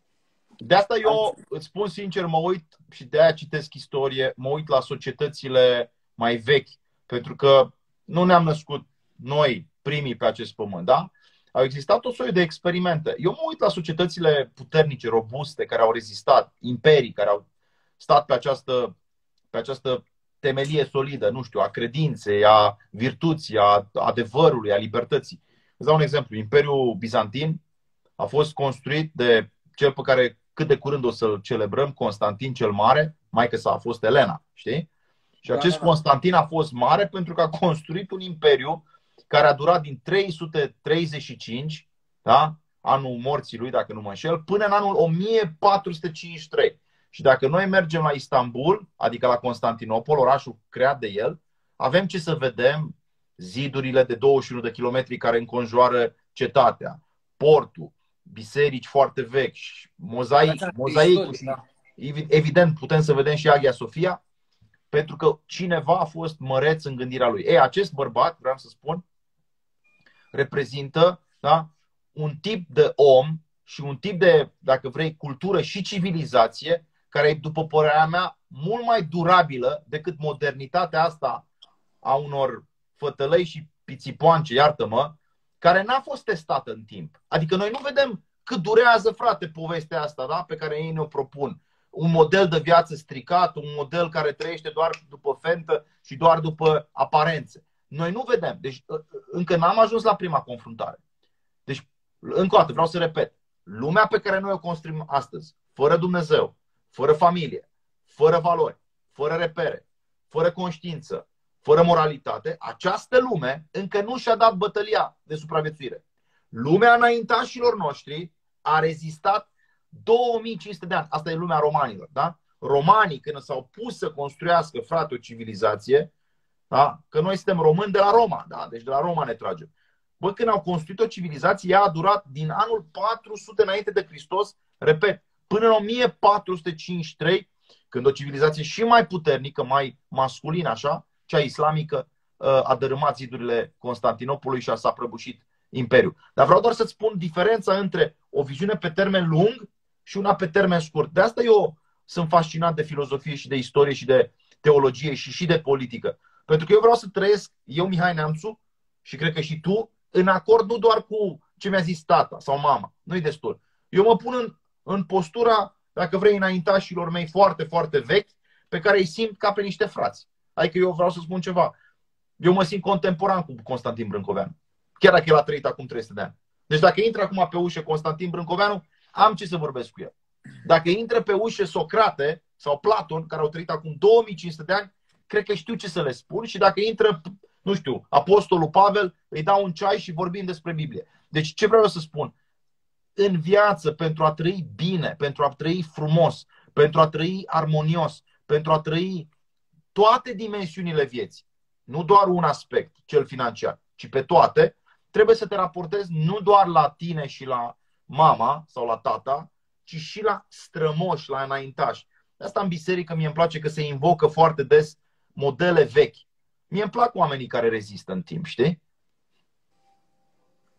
Uh... Te-am dus într-o altă direcție, dar am vrut să da, fac nu, nu, intenționat. Nu, nu, nu, e ok ce zici, dar și aici, iar, trebuie să nu rupem echilibru, pentru că foarte mulți uh, fac greșeala să se țină cu dinții. Uite, la un moment dat spuneam eu niște chestii care pe moment părea, du-te bă, uite ce arogant este, cum îți permis mă să zici așa ceva? Că eu am susținut chestia asta, bă, prin faptul că te-ai născut, tu ai dreptul să, cri- să contrazici pe oricine. Cum spunea și eu în rațiu, eu lupt da, la, până, până la ultima picătură de, de sânge ca, ca tu să ai dreptul contrazice. să mă contrazici. Deci dacă eu, Niculescu, vreau să-l contrazic pe Da Vinci, eu am dreptul ăsta. Nu mi le ia nimeni. Nici tu, nici nimeni. Cu mențiunea că s-ar putea să, să, să nu fie suficient să-l contrazici ca să ai dreptate. Știi care e ideea? Ca să poți ajunge și uh, să, să poți ajunge în momentul în care uh, să ai dreptul de a contrazice pe cineva, în primul rând trebuie să ai uh, respect. succes, respect, lasă asta. Dar să ai reușite profesionale, din punctul meu de vedere. Experiențe de viață. Că de cele mai multe ori, toți acești mari uh, filozofi uh, care Artiști. au spus fel de teorii, bă, au spus niște teorii, atenție, care s-au mulat și au fost valabile atunci, în perioada aia. Lumea s-a schimbat, mentalitățile s-au schimbat. Deci e posibil ca anumite teorii să nu se mai pupe astăzi. De acord, dar ce te faci? Ce te faci? Că aici vine testul umilinței pentru noi. Ce te faci când te duci în Florența, te duci la Roma, te duci la Paris și te duci și pentru că există niște muzee, niște case, niște vile. Că de ce să duc oamenii până la Veneția? De ce turismul duduie încă în Italia? Pentru că niște oameni foarte deștepți au creat în urma lor, au lăsat în urma lor o posteritate. De asta spun, educația pentru mine e important. Ok, facem bani. Cred că aici suntem cu toții aliniați. Nu, discuția cu banii a fost deja Clar. bine, bine clasat. Bun, dar de ce facem bani? Ok, tu ai spus, ca să fiu fericit, să fiu liber, să am soția alături de mine, să nu trebuiască să... Mai multe șanse de a avea continuitate. Dar hai să vedem. Adrian Niculescu peste 20 de ani. Ți-ai făcut blogul, ți-ai scris o parte din gânduri sub forma unor cărți, ai deja copii deja la facultate, s-ar putea atunci să zici să mă suni, bă Mihai, m-am mai înțelepțit un pic, știi?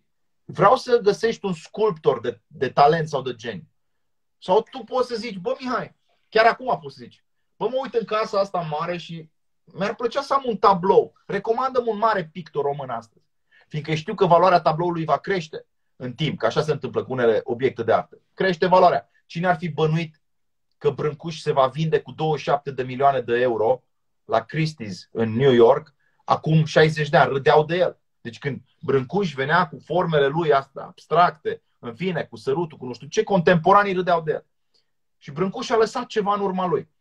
Educația, simțul estetic, filozofia, cultura, mă ajută să apreciez. Și atunci eu am o casă. Bun, dar nu mă opresc la asta. Vreau să o înfrumusețez. Mai departe. Fetele tale o să zică, tati, bun, ok, am văzut România, am văzut... vrem la Florența, vrem la Roma, spune-ne ce vedem aici, ce este aici. Și atunci ele o să simtă nevoia să te întrebe, dar aici în ce limbă scrie? Și tu o să spui în latină. N-am prea făcut latina la școală.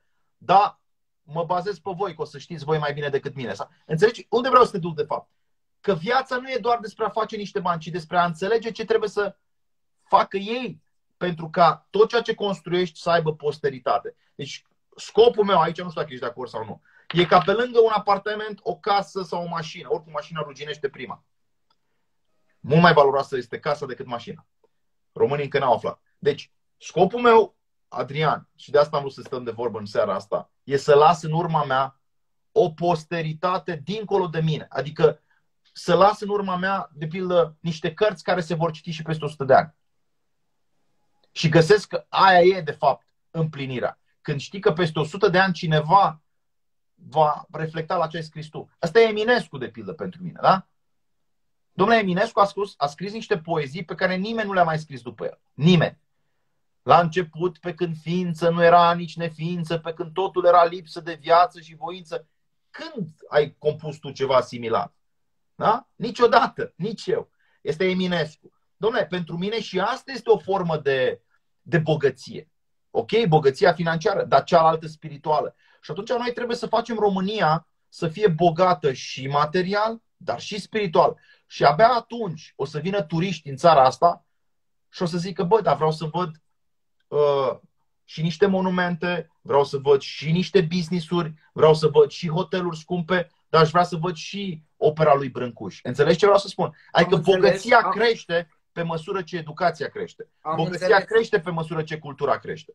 Am înțeles, dar eu știi cum văd? Văd că există o ierarhie, adică aș compara când încep să construiești o casă, da? Nu poți să încep cu etajul 1 sau cu etajul 2.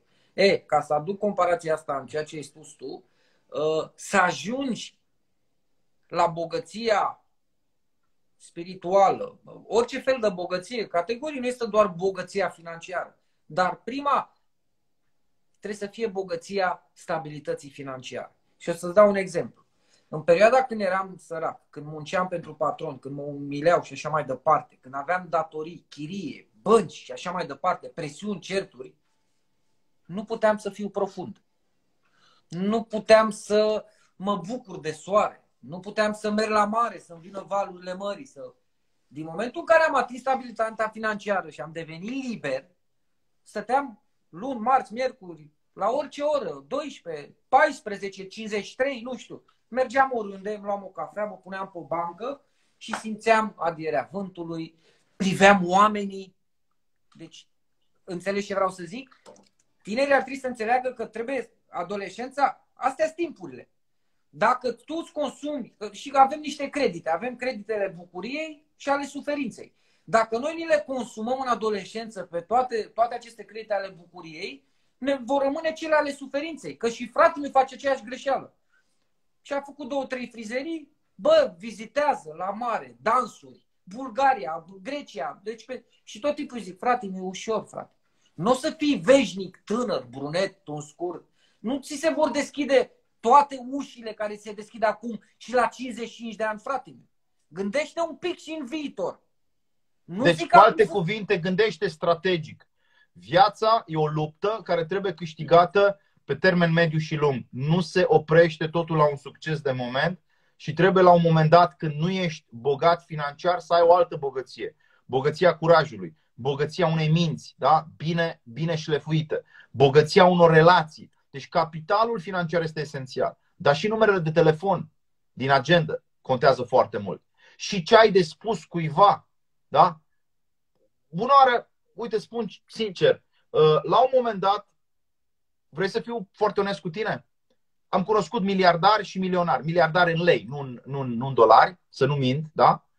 Dar multimilionari. Deci vorbesc de oameni, hai să fiu foarte onest cu tine. Vor, vorbesc, cred că, și de miliardari în lei, în euro. Deci am cunoscut un miliardar în euro și am cunoscut niște milionari în, în, în, în, în, în euro de ordinul sutelor de milioane. Știi ce am descoperit? Că nu erau foarte fericiți când erau în compania semenilor lor, adică marilor bogătași. Bogătașii ăia, la un moment dat, deci cei de care vorbesc și pe care am întâlnit, cum i-am întâlnit, ei ziceau, mai treci pe la mine, uite, mi s-a întâmplat o chestie. Unul dintre ei m-a sunat și a zis, mâine vreau să plec la domul din Milano și vreau să beau o cafea cu tine acolo, în fața domului. Cea mai frumoasă, probabil, catedrală din nordul Italiei.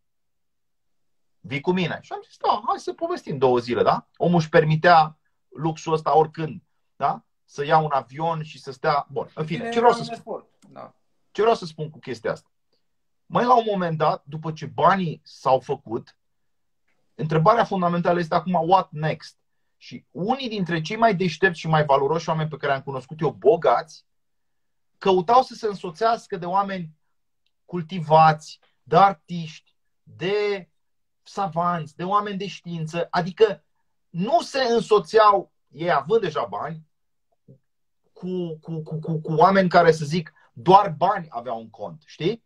Căutau undeva să crească la celălalt, la, la, la, la următorul nivel. Și acolo apare, a zic eu, acolo, acolo apare cultura. Și eu cred că e nevoie de ambele. Adică dacă întâlnirea noastră din această seară are ca scop să stabilească ceva important, eu aș vrea ca eu să-ți cedez ție dreptul de a spune nu te căsători prea devreme dacă ești nepregătit și dacă nu ai bani. Eu îți cedez ție un adevăr fundamental. Banii aduc fericirea, dacă nu aduc, cel puțin o alimentează odată ce ai găsit-o. Dar și tu vreau să-mi cedezi în seara asta, pentru totdeauna, pentru toată viața ta, dreptul de a spune că după ce banii au fost făcuți în casă, mai urmează ceva și mai important. Frumusețea. Frumusețea unei vieți. Frumusețea unor haine. Frumusețea unui limbaj. Frumusețea unei poezii. Frumusețea unei piese muzicale. Frumusețea unui, unei arhitecturi. A unui decor. Frumusețea unui tablou. Frumusețea, înțelegi, unui cântec. Toate lucrurile astea, da, te împlinesc odată ce ai bani. Ele sunt cu atât mai bine venite cu cât ai bani, dar în absența lor, degeaba ai bani. Da, dar uh, da, nu. Deci categoric. Doar că, uite, din ce am văzut și în mesaje, iar mulți uh, văd că dar e pe baza lor. La urma urmei ți-am zis că după ce închidem live-ul, noi suntem niște oameni de succes și, și ei vor rămâne cu, cu anumite idei. Frumusețea despre care tu zici, toate lucrurile acestea, eu le trăiesc. Deci eu n-am intrat în vârtejul acela al banilor. Doar că poezia despre care zici, momentele pe care eu le, petrec, le petrec cu fetele mele, 90%, eu ies în fiecare zi cu ele și le plimb. Banii îmi permit chestia asta. Să trăiesc aceste frumuseți de care zici tu. Momentele pe care eu le petrec, le petrec alături de fete, de Ana, de familie. Faptul că pot sta cu părinții mei. Și îți mai dau un, un, un, un caz, ca să-mi explici tu. Hai să vorbim de Beverly Hills și vorbim de Brooklyn. O singură dată am fost în Beverly Hills și o singură dată am stat într-un hotel de șapte stele. Cinci zile am stat și când am coborât și am luat, am luat uh, un taxi în Beverly Hills, o singură dată în viață. Nu o să spun în ce context. Dar a fost foarte autentic. Și când am coborât în taxi, taximetristul ne-a spus așa, zice, pe strada asta puteți găsi pijamale de 10.000 de dolari. E o, e o ofertă, o ofertă, că cumpărați pijamale cu 10.000 de dolari. Începeam să caut puternic pișamale, îți dai seama. Uh, deci fii atent. Luăm Brooklyn și luăm Ferentari. Statistic vorbind, unde crezi că sunt cele mai multe jafuri, violuri, scandaluri, oameni nefericiți? Deci nu trebuie să mă convingi, omule, eu sunt capitalist până nu, în sânge. pentru ei mai mult. Pentru ei, că mulți înțeleg prost. Fraților, ei terminați, înțeleg că eu sunt omul banului. Și de asta terminați cu acuzația adusă oamenilor prosperi. Prosperitate este reflectarea, în primul rând, a unei setări mentale către abundență. Vrei să fac discursuri? Uite că devin acum repede politician dacă vrei. Dumnezeu a creat lumea în abundență și a pus în ea, scrie în Biblie, da? o sumedenie de pești, da? care mișunau în apele acestea ale oceanului. Da? N-a pus cu zgârcenie Dumnezeu trei pești. A pus suficienți pești încât să nu-i sat- să-i pot sătura și pe chinezi, și pe japonezi, și pe români, și pe elvețieni, și pe africani. Da? Asta e Dumnezeu din Biblie, al abundenței. Dumnezeul din Biblie este un Dumnezeu, iarăși, care are boierie, generozitate, înmulțește da? și pâinile, înmulțește tot timpul, da? tot ce are uh, ca, ca, ca, ca punct de sprijin în relația cu omul, da? este, atins de această, este atins de această binecuvântare. Ca să fiu mai precis, să nu fiu abstract. La Cana Galilei, Isus da? transformă apa în vin, adică o mulțește. Da? Apa aceea se transformă în vin. Asta înseamnă că există o boierie a lui Dumnezeu. Dumnezeu nu este zgârcit, Dumnezeu nu este contabil, Dumnezeu iartă cu generozitate, din abundența iertării și a iubirii lui. Dumnezeu dă acolo unde poate că tu nu meriți deloc, dar dă. Și atunci când te conectezi la această energie, când te conectezi la această abundență a gândirii lui Dumnezeu, care nu ne-a dorit niște jerpeliți și niște, și niște săraci sau sărăntoci, atunci viața ta se schimbă. Problema fundamentală este ca pe lângă bani să existe un sistem de valori. Și cu asta am lămurit-o. Deci banii, de regulă, reflectă în lumea cel puțin civilizată, reflectă o gândire sănătoasă, în Ferentar, cum ai spus tu, în cartierele sărace ale României, ale Rusiei, ale Bulgariei, ale chiar și Americii, în cartierele sărace, o gândire stricată generează violență, generează nefericire, generează dependență de droguri, generează până la urmă furie, tot ceea ce e nesănătos în viața umană. Frustrarea este nesănătoasă, pe când bogăția creează bucurie, abundență și o mentalitate de învingător. Deci e, e, foarte, e foarte clară pentru mine diferența asta. Știi? Dar ce încercam eu să spun, fiindcă două lucruri sunt deteriorate astăzi în România. Știi? Și școala a ajuns să, să nu mai fie socotită ca fiind important. Uite, eu am, eu am norocul ăsta, tu nu o să faci niciodată cu el uh, interviuri, fiindcă e un om foarte ocupat, știi? Poți să-i spun numele? Hai că-i spun. Adrian Papahagi. Adrian Papahagi este prietenul meu, care acum, la ora la care noi vorbim despre asta, studiază Shakespeare. Am fost cu el într-un muzeu la, la Londra. Eu am făcut școala la Londra, trei ani de zile am stat acolo, adică am stat în imperiul financiar al Marii Britanii. Știu ce înseamnă bogăția.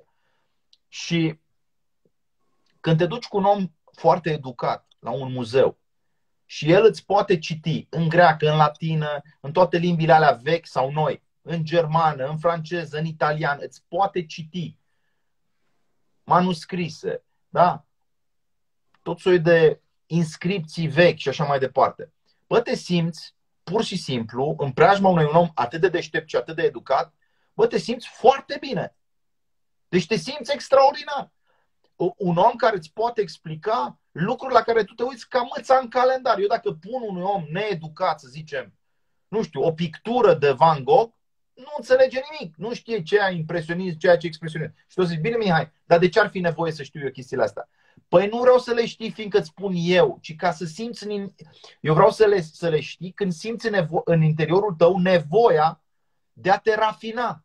Așa cum treci de la Logan la Mercedes, eu aș vrea ca omul educat, civilizat și bogat să treacă de la, iartă-mă, o râgâială, da? la un comportament decent. Să treacă de la, nu știu, chici. Tu ai văzut oameni bogați care nu au gust? Eu am văzut o grămadă. Mulți. Da? mulți. Să treacă de la chici, să treacă la ceva rafinat. Și când se ajunge la perfecțiunea asta, a rafinamentului, a educației, îți spun eu că toată lumea prosperă. Deci, încă o dată, tu te duci la Florența, stai acolo și te uiți la clădirile alea și nu știi de ce îți place. Mă, dar îți place. Când te duci în Ferentari, ți-e groază. Când te duci de asemenea la Veneția, te uiți la vilele alea, da? Uite, în uh, ceea ce mă privește, eu sunt norocos, stau aproape de Mogoșoaia. Tu știi că mă duc uneori la Mogoșoaia ca să mă uit la conacul ăla în stil italian făcut de, de Constantin Brâncoveanu. Apropo, îi se spunea prințul Altenbei, prințul aurului. Atât era de bogat. Avea 113 sate din Mehedinți până, până în Constanța. Era foarte bogat Constantin Brâncoveanu. Și el și-a făcut o casă în stil italienesc, cea de la Mogoșoaia, Palatul Mogoșoaia, îi spunem noi, care nu are și Palatul Ghica sau confund? Nu, nu, nu. Atât. Mogoșoaia este palatul lui. Mai există și alte palate la Buftea, Ghica și așa mai departe. Dar rămânem pe palatele acestea. Palatul lui Brâncoveanu e de o frumusețe atât de irezistibilă încât eu, dar am văzut că toți sunt drăgostiți, toți mirii, se duc acolo să facă poze. Eu n-am văzut miri care să se ducă să facă poze în Ferentari, pe de-o parte, dar nici în Pipera. Toți aleg să facă poze da, la palatul marelui voievod, boier, om cultivat, vorbitor de șapte limbi străine, bogat financiar, dar și aici, la minte, da? pe numele său Constantin Brâncoveanu. E, o să spun acum tâl cu povești. Când mergi la Veneția, vezi Mogoșoaia la puterea o mie. Adică vezi o mie de palate, nu unul. Și deci ești dat pe spate și n-ai mai pleca. Mai stai o zi, mai stai două, mai stai trei și ai spune, bă, ăsta e paradisul. Și atunci ce încerc eu să spun, uh, Adrian? Românii o să mai facă bani și e bine. Eu zic că românii sunt pe o direcție corectă aici. Încet, încet am văzut că România se așează bine pe, pe zona asta. Adică, cred că ai văzut și tu tânărul ăla care, ca antreprenor, a ajuns să fie listat la New York și are deja 34 de miliarde, da? Uipa, da? da? Bun, eu zic că lucrurile se mișcă cât de cât. Ce doresc eu este ca pe lângă înțelegerea logicii banului, a independenței financiare, a responsabilității tale de soț, de tată și așa mai departe, să apară o apreciere sinceră și pentru marea cultură și marea educație care a făcut Europa diferită de toate celelalte continente. Tu nu observi că nimeni nu merge în Ghana. Tu nu ai observat că nimeni nu face excursii în, nu știu, uh, ce să zic, Kenya. Nu face nimeni excursii în Kenya sau în Ghana fără să ofensezi oamenii aia. Toată da, lumea... da, știi de ce văd eu chestia asta? Vezi că ai spus, ai dat exemple cu Veneția, cu, sunt atâtea locuri pline de, de cultură și te duci, dar asta vine și prin faptul că au avut conducători valabili care au scos în evidență și au, au adus, cum să zic eu, au împachetat frumos ceea ce au lăsat cei din trecut. Păi la noi dacă n-am avut lideri capabili, care au fost conduși doar de bani, asta înseamnă să fii condus doar de bani, să nu te gândești la semenii tăi. Și normal că au lăsat Ferentarul și mai știu eu ce, că dacă știau să scoată în evidență, poate și străinii ar fi venit la noi. Deci de asta zic, păi în străinătate tinerii, ăia de mici, sunt, cum să zic eu, îndoctrinați să înțeleagă faptul că trebuie să producă bani în viață. Educație financiară, de asta sunt atât de puternici. Pentru că odată ce tu ca tânăr te dezvolți în sensul ăsta și nu ai o viziune, o viziune greșită împotriva banului, și înțelegi faptul că din momentul în care tu începi să, să, să te hrănești cu educație, vei deveni valoros, categoric vor veni și banii, banii care îți vor uh, zi, uh, oferi timp, timp pe care tu îl vei petrece, nu știu, pe citit, să te documentezi, astfel încât să ajungi cum era Brâncuș. Corect. Sau deci chiar mai mult, să ajungi în situația în care cumperi. Deci, eu zic altfel, să ajungi atât de bogat încât să cumperi o lucrare a lui Brâncuș. Eu, eu am cunoscut un om da, dar România... trebuie să și înțelegi. Adică să, să ai educația, dar o înțelegi. Că dacă cumperi și te uiți la ea ca, bă, te stai, stai așa, doar că gata, bă, o am. Dar, știi? Da, adică... da, bine, îți dai seama. Uh, am avut o experiență extraordinară, uluitoare la un dat cu un om din țara noastră, nu-i dau numele, a murit și eram cu el la, la masă și ca să-mi fac așa o surpriză a zis vrei să-ți arăt ceva? Ceva pe care sigur nu l-ai mai văzut nicăieri.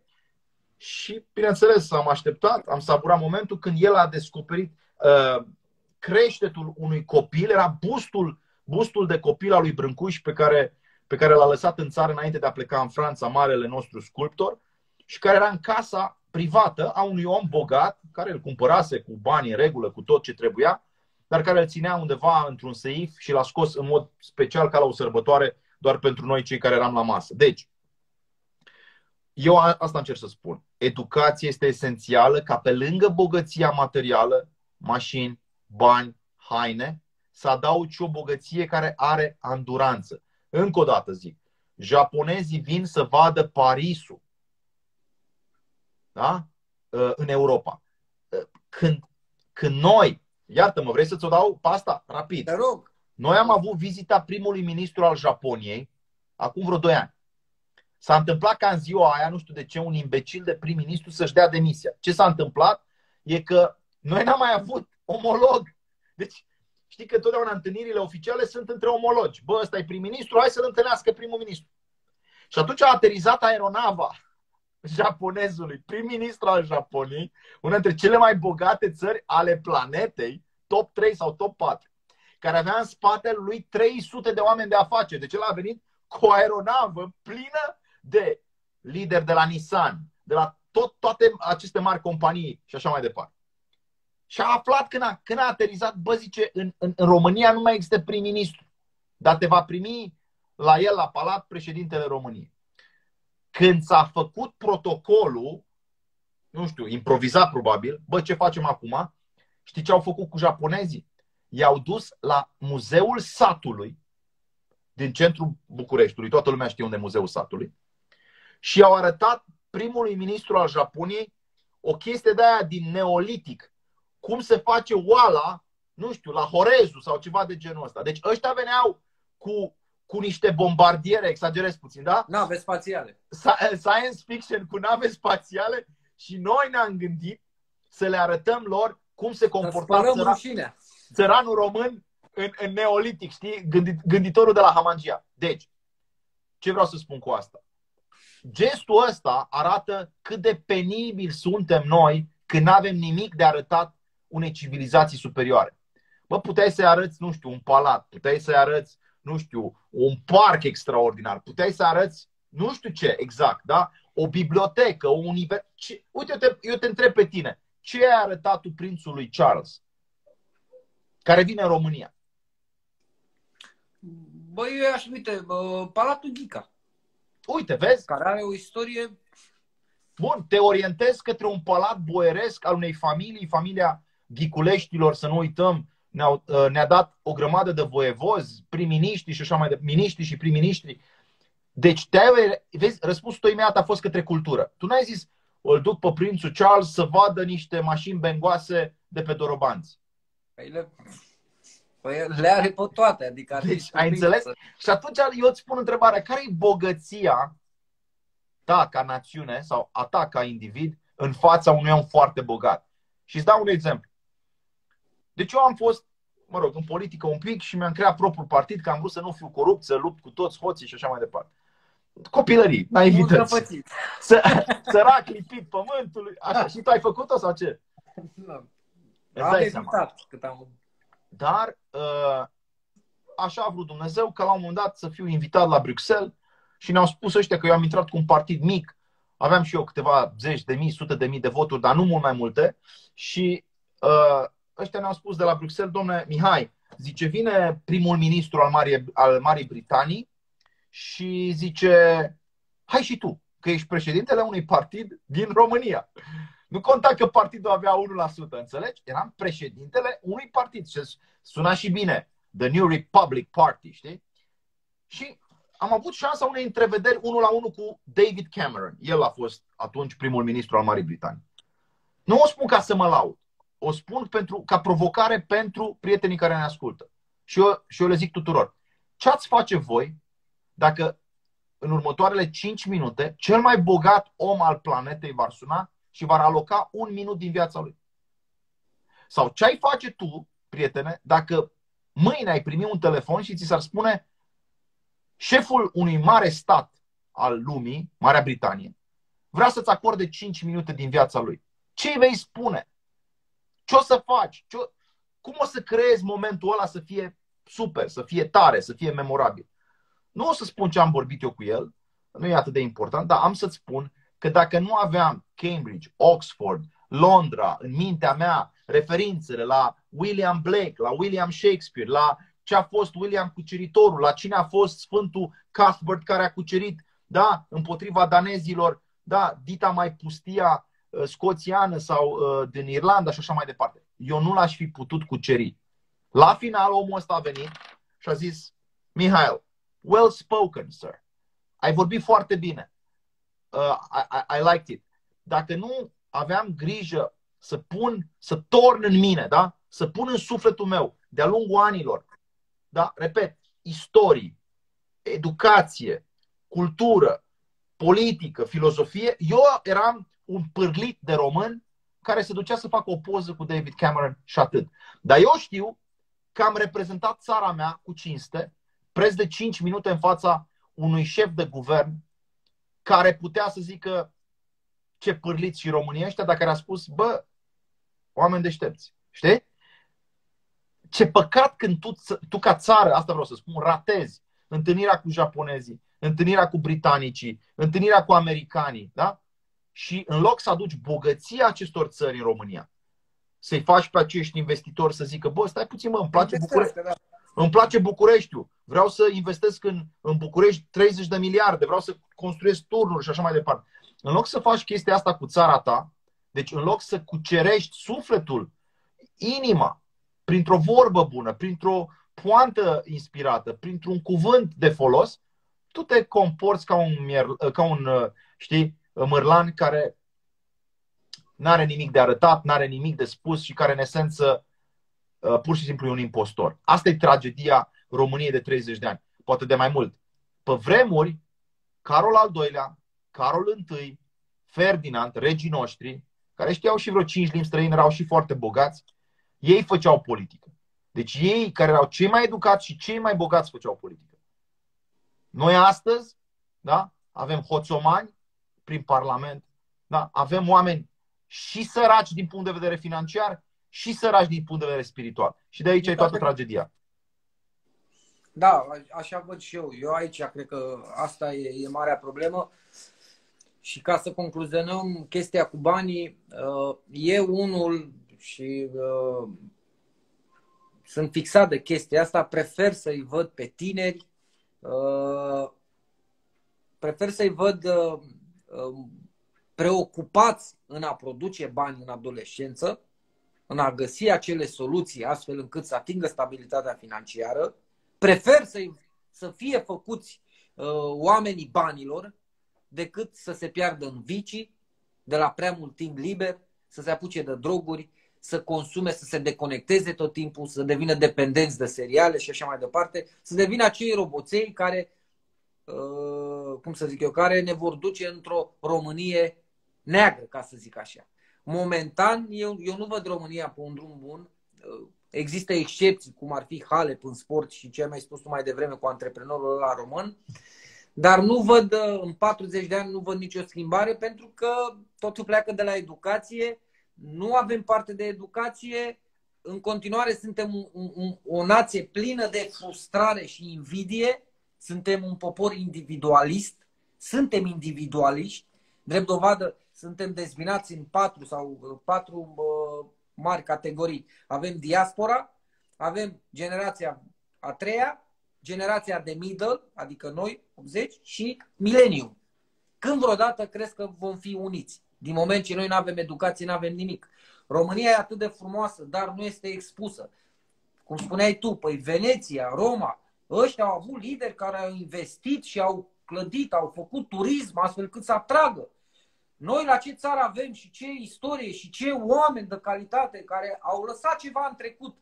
Liderii noștri nu au făcut decât să îngroape totul, au mai rămas așa pe aici, pe acolo și au fost conduși de bani și uh, iată că ăsta este motivul pentru care nu, nu, nu văd eu un viitor strălucit. Dar am ieșit eu care, la nivelul meu, că de asta m-am ferit de politică, fac ceea ce pot, apar tu, o să mai apară altul și ușor, ușor poate tinerii vor realiza că uh, ceea ce consumi în prezent ăsta va fi viitorul.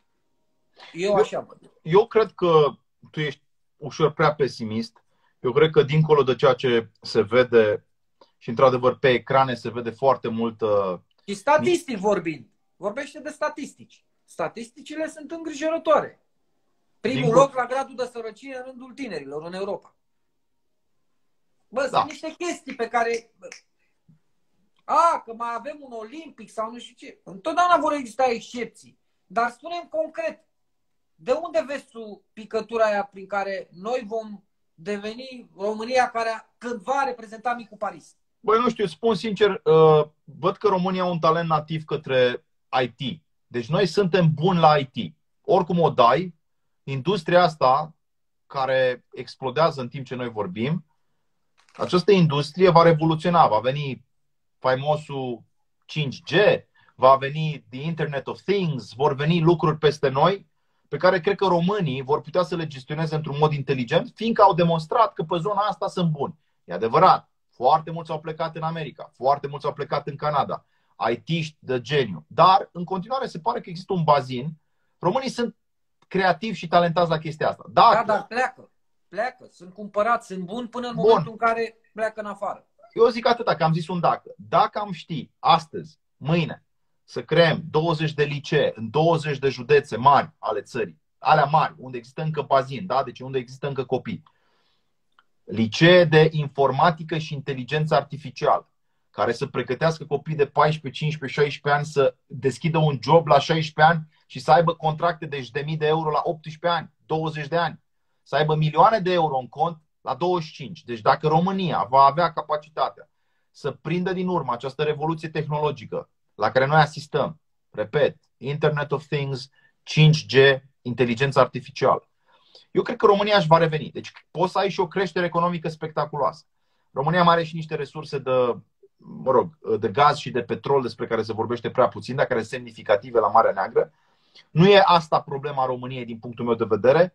Uh, deși ce spui tu despre sărăcia cu tinerilor este perfect adevărat și asta reflectă politica, iartă-mă, politica dusă de niște gerontocrați, îi numesc, da? de niște bătrâni care detestă tinerețea, deci nu doar care sunt bătrâni, ci și detestă tinerețea, care și-au tras pensii speciale nesimțite, în timp ce au lăsat în fundul gol cupluri de 20 de ani care trebuiau să aibă și bani de chirie, și bani de transport, și bani de vacanță, și bani de educația copiilor, și bani de scutece, ceea ce era imposibil. Deci, într-adevăr, am avut niște guvernanți catastrofali, hoți, plagiatori, spoliatori, ce vrei tu.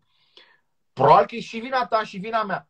Că noi la ora asta, în loc să avem un plan de cucerire a României politic, evident că numai politic poți să cucerești România, noi rămânem în discursurile motivaționale, în o chestie de asta, într-o chestie de asta, sigur, utilă, dar insuficientă.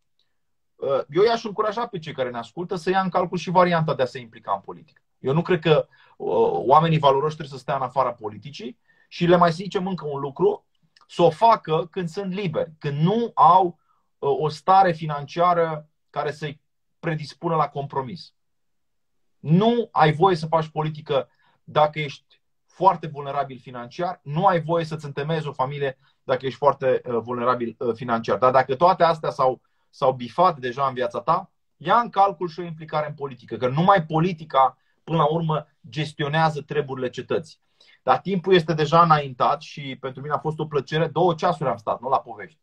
Da, da, da, fix acum, în două minute. Uh, dar fiindcă tot zicem că valoarea familiei e importantă și pentru tine și pentru mine, m-aș retrage încet, încet, nu pentru că nu mai pot să duc, ci pentru că dimineața mi-am, mi-am pus în plan niște lucruri și vreau să-ți mulțumesc. Eu îți mulțumesc că, că ai stat atât timp. Uh, și uh, sper să mai facem, adică putem să dezbatem foarte, foarte multe subiecte și uh, să ne auzim cu bine în viitor. Ce să Uite, vreau să salut pe tânărul care face meditații podcast. E un, uh, e un băiat pe care astăzi l-am descoperit, dar are o tonalitate, un timbru extraordinar, așa o sinceritate, un accent uh, de basarabean frate, ca să zic așa. Și vreau să urmăriți acești tineri. Mai există Uh, iarăși o emisiune foarte faină amatorii de cultură, a lui Justin Jurcan, un băiat de 22 de ani. Uite, pentru mine ei sunt speranța. Uite, acest tânăr care vorbește despre Dostoevski, care vorbește despre Cioran, care vorbește despre lucruri practice și teoretice în același timp, apare încet, încet o nouă generație. În, uh, în România apare o nouă generație la orizont și de ei trebuie să avem grijă, adică să-i promovăm, de ei trebuie să, să ne pese mai mult și, cum bine spuneai, să stopăm procesul ăsta de, de drenaj al creierelor și să-i ținem acasă pe cei mai buni și încet, încet să reconstruim România, care chiar, crede-mă, uh, poate fi un paradis și pentru occidentali. Într-o bună zi, când francezii se vor sătura de atacuri teroriste, într-o bună zi, când chiar și britanicii nu o să mai aibă chef să vadă atâtea tensiuni interrasiale sau mai știu eu ce, o să descopere că undeva, în estul european, da, poți să trăiești foarte bine, poți să cumperi o casă la Sinaia sau la Bușteni și să contempli, nu știu, Caraimanul și că poți, de fapt, foarte bine să, să te bucuri de viață și în țara asta numită România, chiar dacă ea este încă imperfectă, chiar dacă nu are toate autostrăzile pe care le are Germania. O să ne facem și autostrăzi. Cel mai important lucru este, dincolo de autostrăzi, dincolo de ziduri, dincolo de piatră, dincolo de computere, sufletul omului. Că dacă n-ai oameni de calitate, poți să ai paradisul da? tuturor autostrăzilor. Nu asta te face fericit, ci calitatea dialogului, calitatea relaționărilor cu cei din jurul tău. Uh, așa este. Uh, eu uh, o să vreau să vă recomand celor care ne priviți acum să, să mergeți pe pagina lui Mihai, Mihai Neamțu. De asemenea, știu că ai și o platformă cu abonament, Clubul Marilor Cărți. Puteți intra acolo ca să... De chiar marilecărți.ro, unde într-o bună zi te văd și pe tine, îți lansez o provocare, da? Poate că nu te-ai așteptat, Vreau și eu să te mai întreb câteva lucruri. Recomandă un film bun. N-am apucat să te întreb. Schindler List. Super. Mai, mai cucerit cu asta. Genial. Genial film. Schindler's List, lista lui Schindler, foarte bun. O să dau și eu, uite, viața celorlalți. Das Leben der anderen în germană. Viața celorlalți. The Life of Others. Sau The Lives of Others. Uh, eu închei cu o provocare către tine. Care e cartea după tine să exclud cărțile celor prezenți la, la masă. Care e cartea care crezi tu că trebuie citită până în 25 de ani de către un tânăr? Sincer. Ca să fiu sincer, că eu sunt un om foarte sincer, uh, cred că am citit două cărți în viața mea.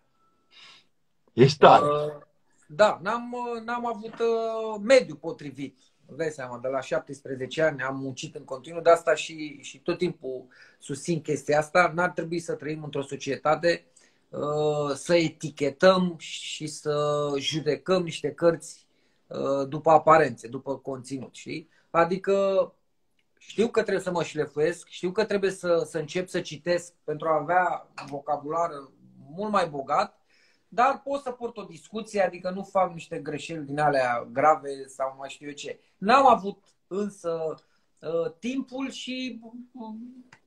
Nu știi de ce ți-am spus asta? Nu, nu, n-am vrut să fie o capcană, sper că îți dai seama că sunt Nu, nu, nu, nu, nu, nu, că puteam să zic, ia fiate, puteam uh, să zic că Știi tată ce? bogat, tată sărac. Bun, și perfect. Și ai o carte bună. Puteam să zic asta, știi? Da. Dar nu pot să mint, n-am cum. Uh, eu vreau să fac o chestie și nu știu dacă ești de acord cu ea.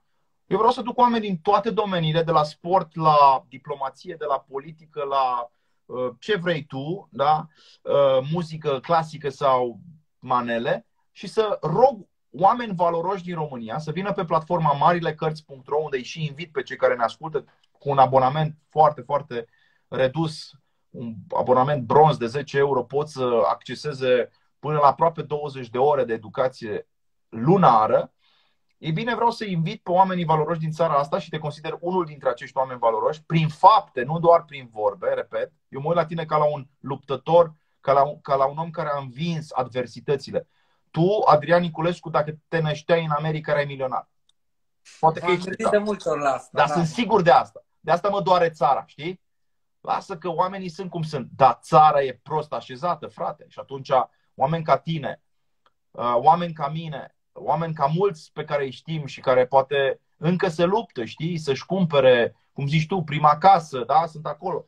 Uh, eu am cunoscut atâția români care în primii 5 ani de trai în America și-au rezolvat toate problemele financiare. Primii 5 ani, problemele dispar. După aia se pune în discuție strategia de îmbogățire. De...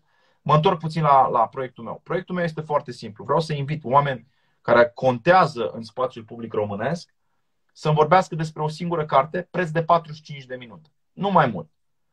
Domnule, cartea asta cred că trebuie să o citească cineva care are 25 de ani. Hai să vedem. Și să știi că am adus oameni foarte frumoși, te invit și pe tine când îți face plăcere într-o seară de miercuri la ora 19.30, uh, da? putem să pregătim, fiindcă vreau să lansez și cărțile de business, da? cărțile de strategie, o să zici, domnule, da, uh, chiar merită, chiar așa de mult să citești? Da, uite, o să scot o carte la întâmplare și chiar dacă e groasă, nu e Biblia. Sau poate nu e la întâmplare. Știi cum se numește cartea asta? Despre război. Asta e cea mai mare carte de strategie scrisă, uite, are 500 de pagini, în secolul XIX. Și știi ce e fantastic? Știi cine a ținut-o în mână? Da? Simbolic cumva. cumva. Napoleon. Unul dintre cei mai mari cuceritori ai lumii da? a avut această carte în mână. Generalii, generalii de tipul Erwin Rommel sau generalii lui uh, Roosevelt sau lui, generalii lui, lui Churchill au fost, au fost dornici să citească această carte. De ce? Pentru că dincolo de războiul ăla cu arme, noi dăm un război al minții în fiecare zi și îți trebuie o strategie. Și atunci eu cred că uneori trebuie să citești câte o carte grea, fundamentală, ca să spui uh, ideile în ordine și îi invit pe toți cei care ne urmăresc să vină la marile cărți și te invit și pe tine. Știi? Asta vreau să spun. Să faci, să faci acest efort de a sistematiza ideile dintr-o carte importantă și de a prezenta această carte celor care te ascultă, fiindcă lucrul ăsta nu ține doar de înfrumusețarea vocabularului, îmbogățirea limbajului sau mai știu eu ce. Lucrul ăsta ține de claritatea minții, iar claritatea e putere. Așa că vă doresc, fraților, succes în continuare. Urmăriți-l pe Adrian, urmăriți-mă și pe mine pe YouTube, veniți la Clubul Marilor Cărți și încet, încet construim platforme care sunt deschise către toată lumea. Mihai, îți mulțumesc din suflet, fugi că e târziu deja. Și până la următorul live, până la următorul uh, event, uh, rămâi la fel și, uh, nu știu, cu Dumnezeu un suflet și învață tinerii, uh, oferă la cele principii prin care să ajungă la acea împlinire sufletească. Despre asta este vorba. Mulțumesc mult! Principiile să rămână sănătoase. Doamne ajută, noapte bună tuturor, la revedere, succes, numai bine! Te-am pa. pupat, te-am pupat. Ciao, pa, pa!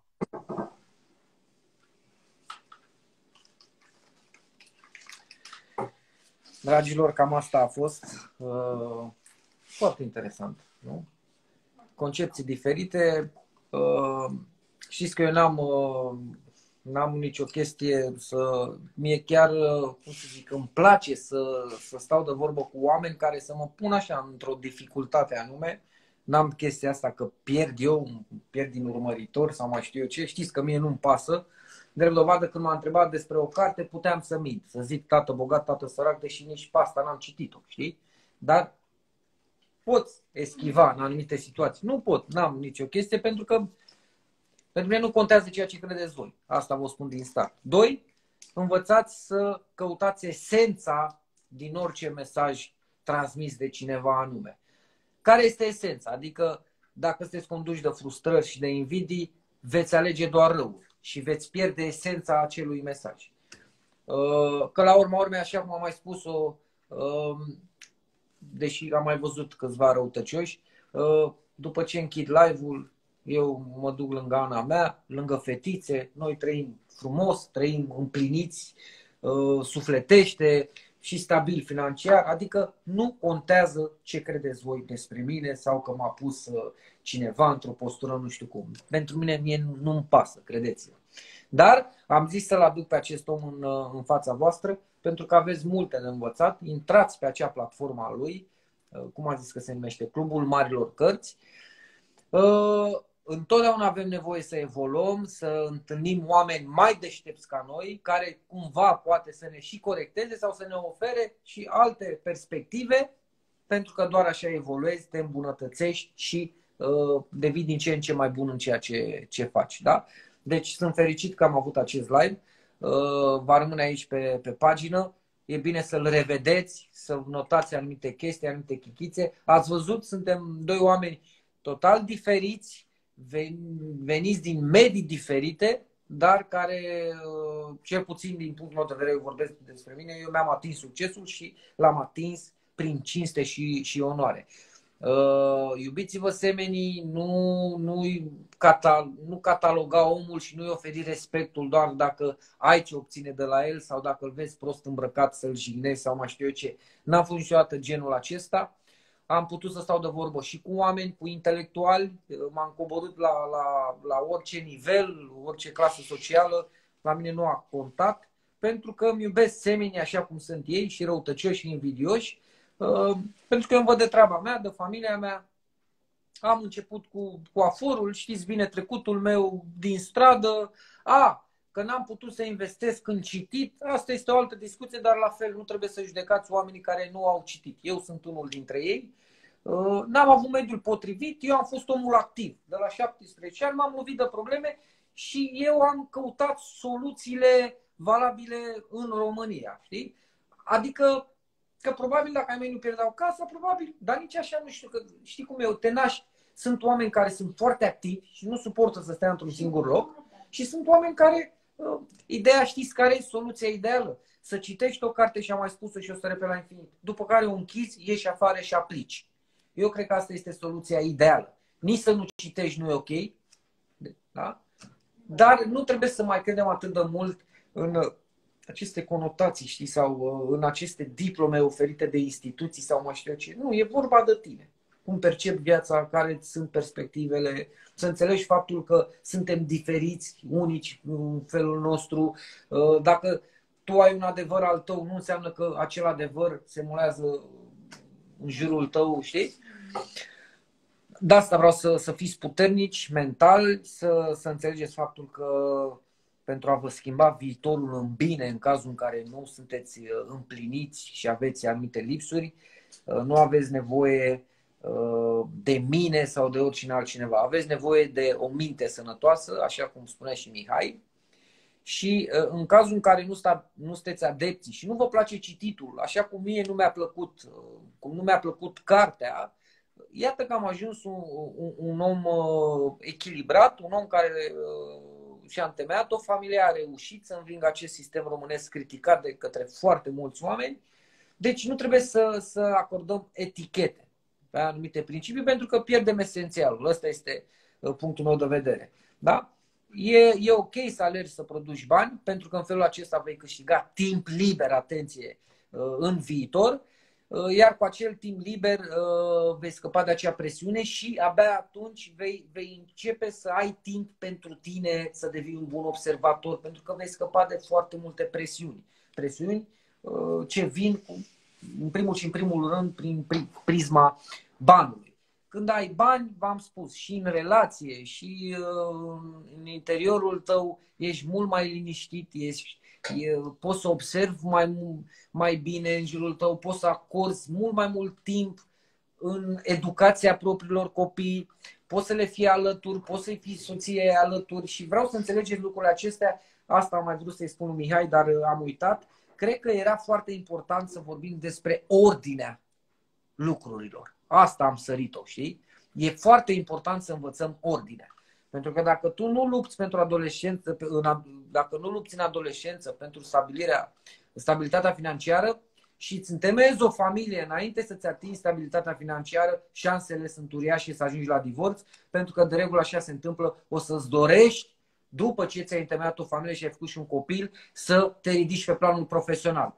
Asta înseamnă că nu vei petrece timp alături de, de soție, alături de copii, o să se creeze un dezechilibru și uite așa, nu știm ordinea lucrurilor. Adolescența, din punctul meu de vedere, trebuie, uh, cum să zic eu, uh, focusată pe planul profesional, da? să produci bani, să nu depinzi de nimeni, că ești fată, că ești băiat, să nu mai iei de la părinți, să, te sub, să încetezi în a mai primi gratuit, pentru că doar în felul acesta îți pui creierul la contribuție, astfel încât să caute soluții în a obține ceea ce îți dorești Uh, și familia să vină un pic mai târziu, atunci când simți în interiorul tău că ești destul de matur, că uh, ai avut foarte multe greșeli, că te-ai corectat, că ți-ai atins stabilitatea financiară și în felul acesta îți vei crește șansele ca în momentul în care îți întemeiezi o familie să o duci până la capăt. Și categoric totul pleacă de la Dumnezeu, da?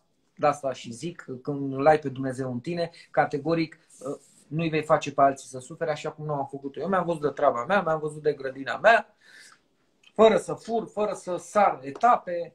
Așa am considerat eu că trebuie să fac lucrurile. La 30 de ani mi-am întrebat familia, am făcut copii, nu mă consider că nu consider că am făcut copii prea bătrân sau mai știu eu ce, nu. Acum a fost timpul potrivit pentru mine și șansele sunt mult mai mari și iată, drept dovadă, am trecut uh, de foarte multe presiuni împreună cu Ana, doi copii, fără să ne ajute nimeni, dar 90% eu am fost alături de Ana uh, Lucru pe care n-aș fi putut să-l fac dacă nu aveam stabilitatea financiară. Luați-o cum vreți, unii mă puteți considera omul banului, eu știu că sunt un om fericit și uh, uh, pe lângă faptul că am scăpat de presiunea sărăciei, ce spunea și Mihai, eu într-adevăr mă bucur și de poezia metaforic spus, dacă suntem în tenta asta filozofică, uh, poezia care vine prin familia mea, prin Ana, prin fete, prin momentele pe care le petrecem. Deci eu nu sunt un om care să fiu disperat de bani, dar recunosc în același timp creierul meu s-a obișnuit să fie un creier activ care să producă. În momentul în care produci, societatea te va răsplăti prin bani. Este logic, nu, asta nu înseamnă că nu-L ai pe Dumnezeu în tine sau nu-L iubești sau că iubești banii. sau Nu, banii îți oferă ustensilele necesare prin care tu poți atinge starea de fericire. Cam așa ar fi definiția, nu? Cea mai să fie la mijloc, nu? Banii aduc fericire. Hai să o punem așa. Banii îți oferă ustensilele necesare prin care tu poți atinge fericire. E bine așa, Piti? E bine. Mamă, s-a făcut 1 și 16. Bun. Bine, frumoșilor, băi, mâine eu am și uitat, mâine e miercuri. Da. Uite, o altă chestie, vezi, când ating stabilitatea financiară, vorbeam și cu Ana zilele acestea, la curte aici, cum stăm, avem impresia că e sâmbătă și duminică tot timpul. Tot timpul. Când nu mai depinzi de societate și de patroni, zici că suntem în concediu. Și Ei, asta vreau să vă inspir și asta, adică va sugera că nu vă impun eu ce, poate tu apreciezi altceva sau știi. Dar e minunat să scap de presiunea aia. E, e minunat. Și eu, da, am zis, bă, atât eu cât și Ana, că și ea și-a sacrificat adolescența, pentru clipele astea pe care le trăim acum, de acum înainte, pentru noi doi am meritat. Acum mai departe ține și de voi să vă gândiți, da? vă uitați în urmă, bă, merită să-mi, să-mi sacrific anii adolescenței? Sau? Și e foarte important să știți că experiența și cultura nu vine doar din cărți. Asta vă Adică mă aveți un caz real. Eu nu am citit decât două cărți și ale le-am citit forțat, probabil printre a 8 a 9 și al lui Dale, Dale Carnegie despre atât. Deci, uh, informația cea mai reală, din punctul meu de vedere, este informația provenită din greșelile tale, din experiențele, din practică. Da? Deci există și alte căi. Nu trăim într-o societate fixă, nu există nimic fix. Da? Uh, acum ține doar de voi. Nu suntem cu toții făcuți, nu știu, pentru un lucru anume. Suntem diferiți. Voi trebuie doar să vă găsiți acele lucruri care vă atrag și să deveniți cei mai buni uh, în acele lucruri. Da, știu că mâine e miercuri, nu. Doar spuneam că uh, avem senzația că tot timpul e sâmbătă, duminică. Nu, a scris și mama astăzi, mâine e joi. Și probabil fata Mamă, mai prost, mâine e miercuri. Stai, ce e azi? Miercuri, azi e marți, mâine e miercuri. Da, că vine bună. A, sau mâine e joi pentru că a trecut de ora Ah, capitol, capitol, capitol. Și mă bucur că, că am făcut uh, că am făcut live N-am mai făcut de mult, dar am zis, bă, hai să, să fac cu Mihai că, că omul are multe de zis. Bun.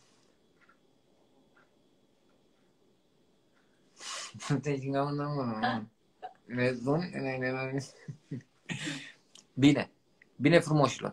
O să salvez live-ul, o să fi, rămână pe pagină, pe pagină și uh, vă dorim o seară frumoasă, Ehm, și până la următorul live, care nu știu cum va fi, știți că eu sunt inopinant, uh, fiți puternici mental, că de aici pleacă totul, uh, și faceți lucrurile prin corectitudine, sinceritate și iubire față de semeni. Chiar și față de semenii care vă doresc răul.